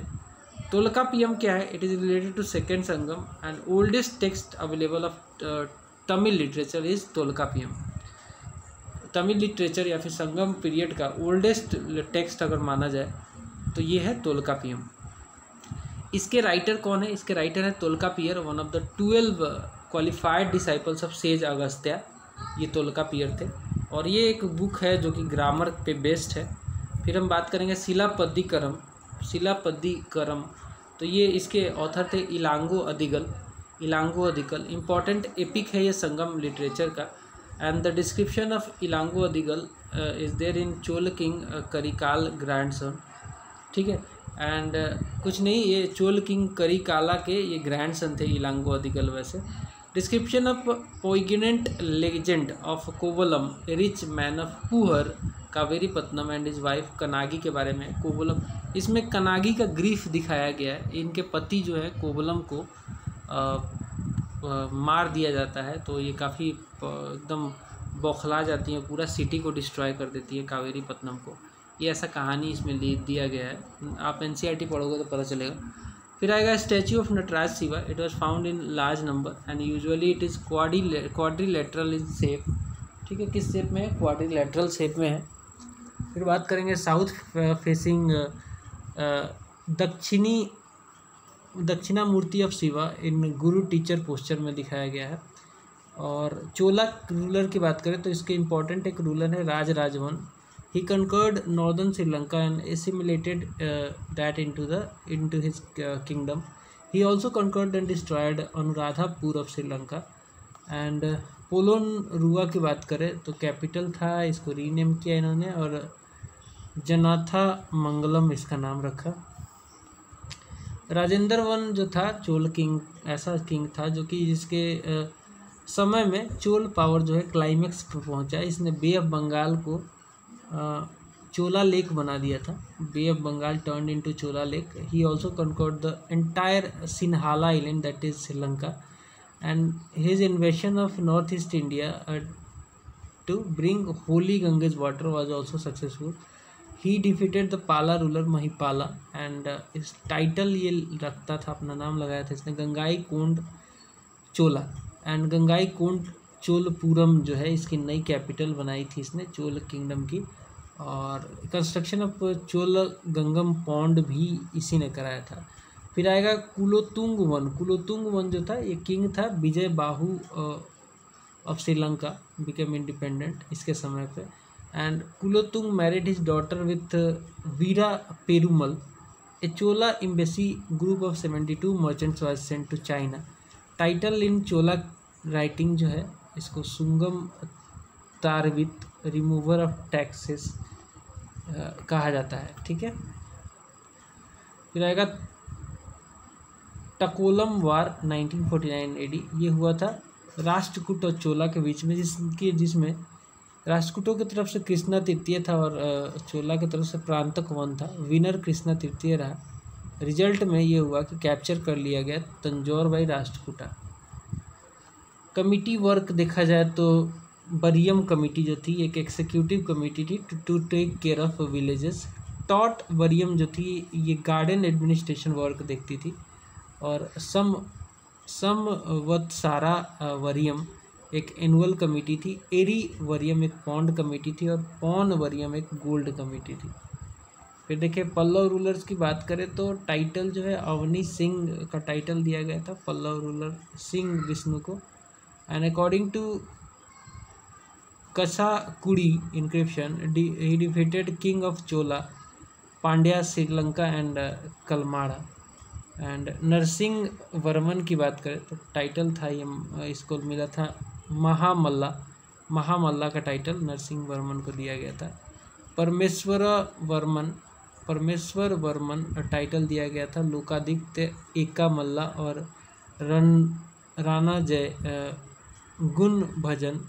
महेंद्र वर्मन वन को जो है इसकी ऑथर था मत विलास प्रहसन का, महेंद्र वर्मन वन। ये भी पूछा जाता है कई बार।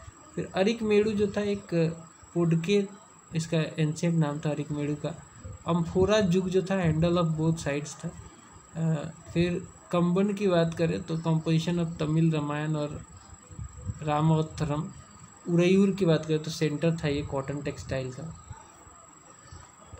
चालुक्यों की बात करें तो कैपिटल इनकी बदामी थी पुलके सिंह वन जो था एक्चुअल फाउंडर था पुलके सिंह द्वितीय जो था मोस्ट कैपेबल और पावरफुल एवं चालुक्य रूलर था। इसने रूल किया था 610 से 642 ईडी और इसने जो है उसको भी हराया था हर्षवर्धन को। ये हमें प्राप्त होता है आई होल इंक्रिप्शन से, जो कि इसका जो दरबारी कवि, यानी कि कंपोजर था, दरबारी, दरबार, दरबारी कवि, कोर्ट पोएट रवि कृति ने ये इंक्रिप्शन लिखा था, जिसमें तारीख के पुल बाँध दिया था इसने।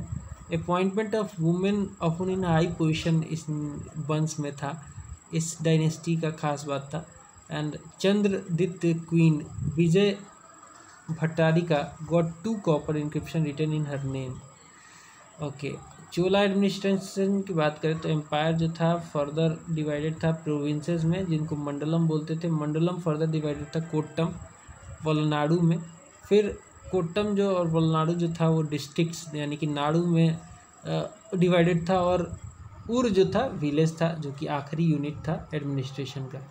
पांड्या किंगडम की बात करें तो लाइफ लाइन इनका वेंगी रूलर रिवर हुआ करता था, वेंगी रिवर लोकेशन इस किंगडम का था साउथ ऑफ़ रिवर कावेरी। इनका कैपिटल था मदुरा। मदुरा या फिर मदुरई बोल सकते छब्बीस एडी में इस किंगडम ने भेजा था एक एम्बेसी रोम के लिए। रोम के लिए, ठीक है? एक एम्बेसी भेजा था। और कंस्ट्रक्शन कराया था मीनाक्षी टेंपल का इन्होंने। एंड जयंत वर्मन जो रूलर था, उसका टाइटल जो था, वो था वनावन एंशियंट लिटरेचर और लिटरेचर्स की बात करें लिटरेट्रियोड की बात करें तो हिस्टोरिका जो है, ये लिखा था हेरोडोटस ने. He was the father of history Mudra Rakshasa को लिखा था विशाख दत्त ने. अष्टाध्यायी के रचयिता थे पानिनी और ब्रह्म ब्रह्मस्पुथा सिद्धांता ये ब्रह्मगुप्त ने लिखा था और आर्यभट्टिया आर्यभट्ट ने लिखा था. फिर बात करें लिटरेचर और कुछ और लिटरेटियट की तो बराह मिहिर ने ब्रिज ब्रिज ब्रिज तकम पंच सिद्धांतिका और बृहद संहिता का रचना किया था। डांडिन ने डांडिन ने डांडिन ने कब, कव्यादर्थ और दक्षिण, दक्ष कुमार चरित्र जो है डांडिन ने लिखा था। फिर बात करें अशुघोष ने तो बुद्ध चरित्र का रचयिता था अशुघोष। सौंदरानंद का भी रचयिता था ये और सरीपुत्र प्राकरण का प्राकरण का भी रचयिता था। हर्ष ने खुद, हर्ष राजा हर्ष ने, हर्षवर्धन ने प्रियदर्शिका रत्नावली और नागनंद का रचना किया था। एंशियंट लिटरेचर और लिटरेचर की और बात करें तो मिलिंद पन्हो जो है वो इसका रचना किया था, नागसेन ने। मालविक अग्निमित्र का रचना किया था, कालिदास ने। रजनी राज तरंगनी लिखा था कलहड़ ने गीत गोविंद जयदेव, पंचतंत्र विष्णु शर्मा, सिद्धांत शिरोमणि, भास्कराचार्य ने मित मित मितक सरा विजय विज्ञानेश्वर ने, एंड मत विलास प्रहसन ये लिखा था महेंद्र वर्मन ने। फिर अगेन लिटरेचर लिटरेटिएट है, पतंजलि ने लिखा था महाभाष्य। यस्क ने लिखा था निरुक्त, कत्यायन ने लिखा था वर्तिक, और वात्स्यायन ने लिखा था कामसूत्र, कालिदास ने मेघदूत भावभूति ने भावभूति ने लिखा था उत्तर, उत्तरम चरित्रम उत्तरम चरित्रम भावभूति ने लिखा था, कुमारदास ने लिखा था जनकीर, जानकी हर नाम। सुद्रक ने लिखा था मृच कटिकम, भरावी ने लिखा था कीर्त कीर्त अर्जुनिया। भरावी ने लिखा था, बाण भट्ट ने लिखा था कादम्बरी और मरतुंग ने लिखा था, मेरुतुंग ने प्रबंध चिंतामणि प्रबंध चिंतामणि, भास ने लिखा था, स्वप्न, स्वप्नवास बदाता और सर्व वर्मा ने लिखा था, कतंत्रा कतंत्रा और भास्कराचार्य ने लिखा था, Lilavati Lilavati. Early middle ages की बात करें तो अर्ली मिडिल एजेस का जो पीरियड माना गया है वो पीरियड है 800 से 1200 एडी इस समय पाल डायनेस्टी काफ़ी फ़ेमस थी जिसके फाउंडर थे गोपाल। और इसके दूसरे जो अच्छे रूलर थे वो थे धर्मपाल बहुत बढ़िया रूलर और आर्डेंट बुद्धिस्ट थे ये लोग ठीक है? मैं अगर बात करूँ धर्मपाल की तो ये भी थे। और बाकी भी जो इसके शासक थे वो भी बुद्धिज़्म को ही बिलोंग करते थे। आ, परम सौगाता इनका जो है नाम मेंशन है इंक्रिप्शंस में। He established vihara at Vikramashila Somapuri जो कि विक्रमशिला सोमपुरी जो कि आज के डेट में भागलपुर में है। फिर आता है देवपाल देवपाल एक बुद्धिस्ट फॉलोअर था। ई डिनोटेड फाइव विलेजेस इसका सबसे इंपॉर्टेंट एविडेंस सबसे इंपॉर्टेंट इवेंट यही है देवपाल के समय कि इसने पाँच विलेज डोनेट किया था for construction of Buddhist Vihara at Nalanda and at the request of Balaputra Dev Shailendra Banshi ruler of Java पे के रिक्वेस्ट पे ये ऐसा किया गया था। फिर हम बात करेंगे गढ़वाल डायनेस्टी की तो इसका फाउंडर था चंद्रदेव, गोविंद चंद्र गढ़वाल जो है, इसका, इसके बारे में बात करते इसकी वाइफ थी रानी कुमारा देवी, जो कि बुद्धिस्ट फॉलोअर्स हुआ करती थी। और ध्रम चक्र जो है कंस्ट्रक्शन ऑफ़ जिन बिहार सारनाथ में किया गया था। मिनिस्टर था इसका लक्ष्य, लक्ष्मीधर। और जयचंद था वो लास्ट रूलर था इस डायनेस्टी का।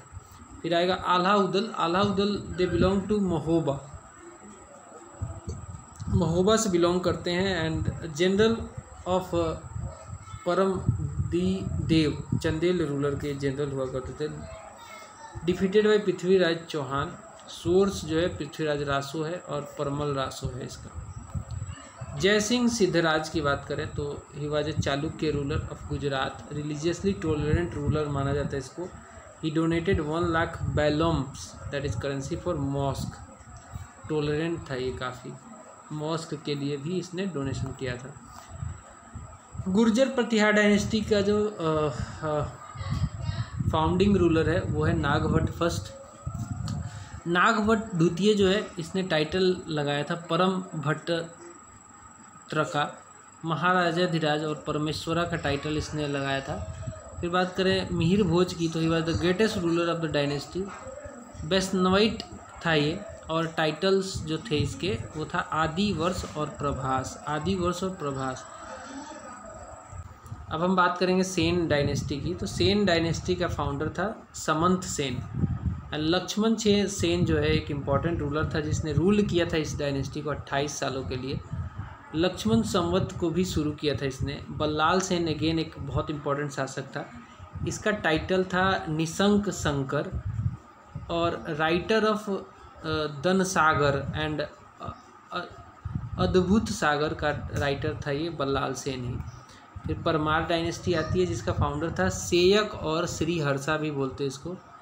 बकपति मुंजा कंस्ट्रक्शन ऑफ़ मुंज सागर पौंड इसी ने कराया था। टाइटल इसका श्री वल्लभ और पृथ्वी वल्लभ, अमोघ वर्ष इसका टाइटल था। सिंधु राज इसका अगला शासक था, जिसका टाइटल था कुमार नारायणन एंड सहसांक भी इसका टाइटल था। किंग भोज उसके बाद बैठा था, जिसका जिसका it was ruled by sword ठीक है? एंड कॉम्पोजिशन इसका क्या है? Samarangana Sutradhara related to architecture other composition इसका सरस्वती कंथा भरन सिद्धांत संग्रह, इसका कुछ अदर कंपोजिशन था। कंस्ट्रक्शन ऑफ़ बैंक्यूट हॉल बनाया था, भोजशाला बनाया था इसने। पृथ्वीराज तृतीय जो था, पृथ्वीराज चौहान भी बोलते हैं रूलर ऑफ़ अजमेर था। फ़र्स्ट बैटल ऑफ़ तराइन में ये जीत गया था, मोहम्मद गोरी को हरा के, और सेकेंड में ये हार गया था। मोहम्मद गोरी से ग्यारह सौ बानवे में पहला जो तराइन का युद्ध हुआ था, ग्यारह सौ इक्यानवे वाला ये जीत गया था। दासपुर इंक्रिप्शन एक मिला है, जिसमें ऑप्टेन किया गया है फ्रॉम मंडासौर। इसको ऑप्टेन किया गया from Mandsaur. This is related to the reign of Kumar Gupta. Mentions क्या क्या है इसमें? गवर्नर ऑफ़ कुमार गुप्त, बंधु वर्मा का मेंशन है। कंस्ट्रक्शन ऑफ़ सन टेंपल इसमें मेंशन किया गया है, और पट्टा वाया वाय श्रेणी, यानी कि सिल्क यान वीवर्स गिल्ड के बारे में इसमें बताया गया है। फिर आएगा विग्रह विग्रह राज फोर्थ। इसका रेन जो था दिल्ली, इसका रेन जो था ग्यारह सौ तिरपन से ग्यारह सौ तिरसठ था, दस साल का। दिल्ली विक्ट्री इसका मोस्ट प्रोमिनेंट विक्ट्री था।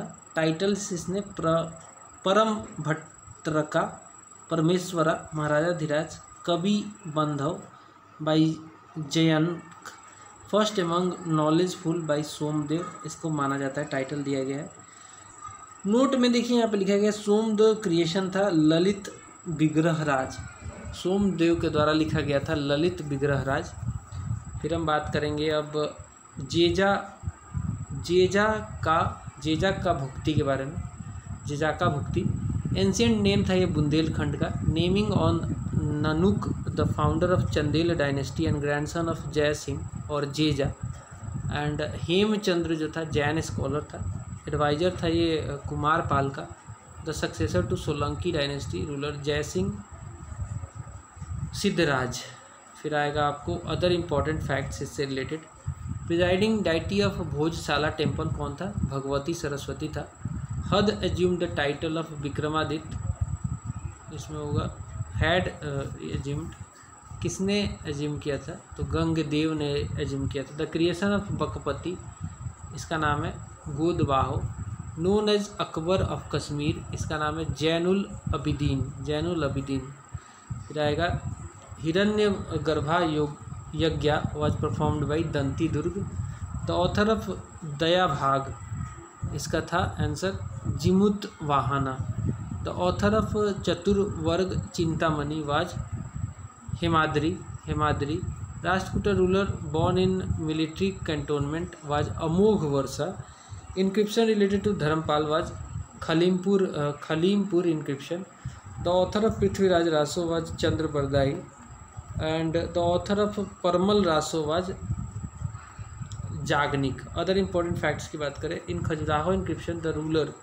Harsha has been called Param Bhattarak and Pund, Pundravardhan भक्ति, bhukti was located in ancient times in the region of north Bengal फिर हम बात करेंगे एंशियंट इंडस्ट्री इंडियन हिस्ट्री से रिलेटेड कुछ मिसलेनियस फैक्ट्स को देखेंगे। सिंबल्स ऑफ़ तीर्थंकरा, ऋषभ देव का था बुल, महावीर स्वामी का था लायन, अजीतनाथ का था एलिफेंट और संभवनाथ का था हॉर्स, पद्म प्रभ का था लोटस, सुपर स्वनाथ का था सुपर स्वनाथ का स्वास्तिक, मालीनाथ का था पिक्चर, नमीनाथ का था ब्लू लोटस, नेमीनाथ का था काउंच और पासनाथ का था पासनाथ का था serpent. Neminath is another name for Arishta Nemi mentioned in Rigveda. कुछ और मिसलेनियस फैक्ट्स देखेंगे। सेविज्म से रिलेटेड लिंगायत और सेविज्म। ओरिजिनेटर कौन था? अलभ प्रभु था इसका originator. His disciple Basava. Propagation इसका साउथ इंडिया में हुआ ट्वेल्थ सेंचुरी में। एंड कपालिक सेक्ट एक और नाथ पंथ सेक्ट दो तरीके के सेक्ट इसमें देखेंगे। कपालिक सेक्ट ऐसे थे। Their main centre Shri Sail according to Malati Madhav Bhavabhuti के हिसाब से। नाथ पंथ जो सेक्ट थे, ये देव propounded by these sect propounded by मतस Matsyendra Nath at the end of tenth century considering Shiva as Adinath other nine Nath recognise as divine person widely published by Baba Gorakhnath in tenth to eleventh century फिर आएगा सख्त सख्त sect इस्ता देवी शक्ति बोला गया है। Close association with Shaivism antiquity to the pre historic era at present there are three major centres that is in Kashmir Kanchi and Kamakhya famous centre for Kaul sect major temples associated with Shaivism तो एक है राज Rajeshwar temple Tanjore Tamil Nadu में। राज राज one ने इसको बनाया था। Shiv temple भूरमा, Madhya Pradesh में है। नटराज टेंपल चिदम्बरम में है, तमिलनाडु में। विरूपक्षा टेंपल हम्पी में है, कर्नाटक में और विश्वनाथ टेंपल है, वाराणसी, उत्तर प्रदेश में। Other names of Rudra in Atharvaveda Pashupati Bhava Sarva और भूपति के नाम से जाना गया है। महाभाष्य जिसकी रचयिता थे जिसके पतंजलि। इसमें मेंशन किया गया worship of Shiva by making an idol in second century BC फिर यहाँ पे कुमार संभवम, जो कि कालीदास ने लिखा था in the praise of the glory of Shiva Nayanar saint जो थे टोटल नंबर ऑफ़ सेंट थे सिक्सटी थ्री इन्होंने प्रोपोगेट किया सेविज्म को साउथ इंडिया में during the Pallava period Nayanar. फिर आएगा eight types of gold coins of Samudragupta तो समुद्रगुप्त के एट टाइप ऑफ़ गोल्ड की बात करें तो एक था गरुड़ स्टैंडर्ड टाइप था ये। फिर एक था lyrist that is Veena Vadana type का एक कॉइन हुआ करता था जिसपे बीना वादक के रूप में समुद्रगुप्त को दिखाया गया था। टाइगर स्लेयर यानी कि व्यग्र हनन हनन ये भी इसका एक कॉइन पे पिक्चर है। किंग एंड क्वीन टाइप एक तरफ़ किंग है, दूसरी तरफ़ क्वीन है, वो भी एक है। Ashvamedh horse sacrifice type battle axe that is Parashu type and Kacha type भी इसका जो है एट टाइप का गोल्ड कॉइन जो है समुद्रगुप्ता का। इंपॉर्टेंट फैक्ट्स कुछ और देखेंगे। Description of Samudragupta war with Pushyamitra and Hunas in the Bhitari column inscription में दिखाया गया है। Ashoka pillar was originally located in the Kosambi it was established in Allahabad by Akbar the first of the Gupta ruler to issue coin that is Chandragupta one name of silver coin issued by Gupta ruler Rupak बोला जाता है उसको। Another name of this period on the basis of progress made in the art and architecture इसको बोला जाता है। Gupta golden age of ancient India Harsha के period का कुछ इन्फॉर्मेशन देखते हैं। Detailed information for of the governance found from the Bana Bhatt का जो कंपोजिशन है हर्ष चरित्र, उससे पाया जाता है। कलहण की Raj Tarangini is another source of partial information Chinese source जो कि है, कौन? वेन सांग आया था। हर्षा और Rajshri both together use to sit on the throne of Kannauj capital इसका था थानेश्वर। बाद में शिफ्ट कर दिया गया था कन्नौज ट्रांसफ़र करके। कन्नौज जो था, ये ह्यूज असेंबली ऑफ़ टीचर्स यहाँ पर लगाई गई थी। Of different religious religions religions and sects king of twenty countries include किए गए थे इसमें। प्रेसिडेंट ऑफ़ असेंबली कौन था? वेन सांग था। तो यहाँ पे गाइज़ हमने एनशियट इंडिया कवर किया है। होप कि आपको पसंद आया होगा। पसंद आया तो लाइक कर देना शेयर कर देना दोस्तों के साथ एंड सब सब्सक्राइब कर लेना इस चैनल को। मिलेंगे अगले वीडियो में। Bye bye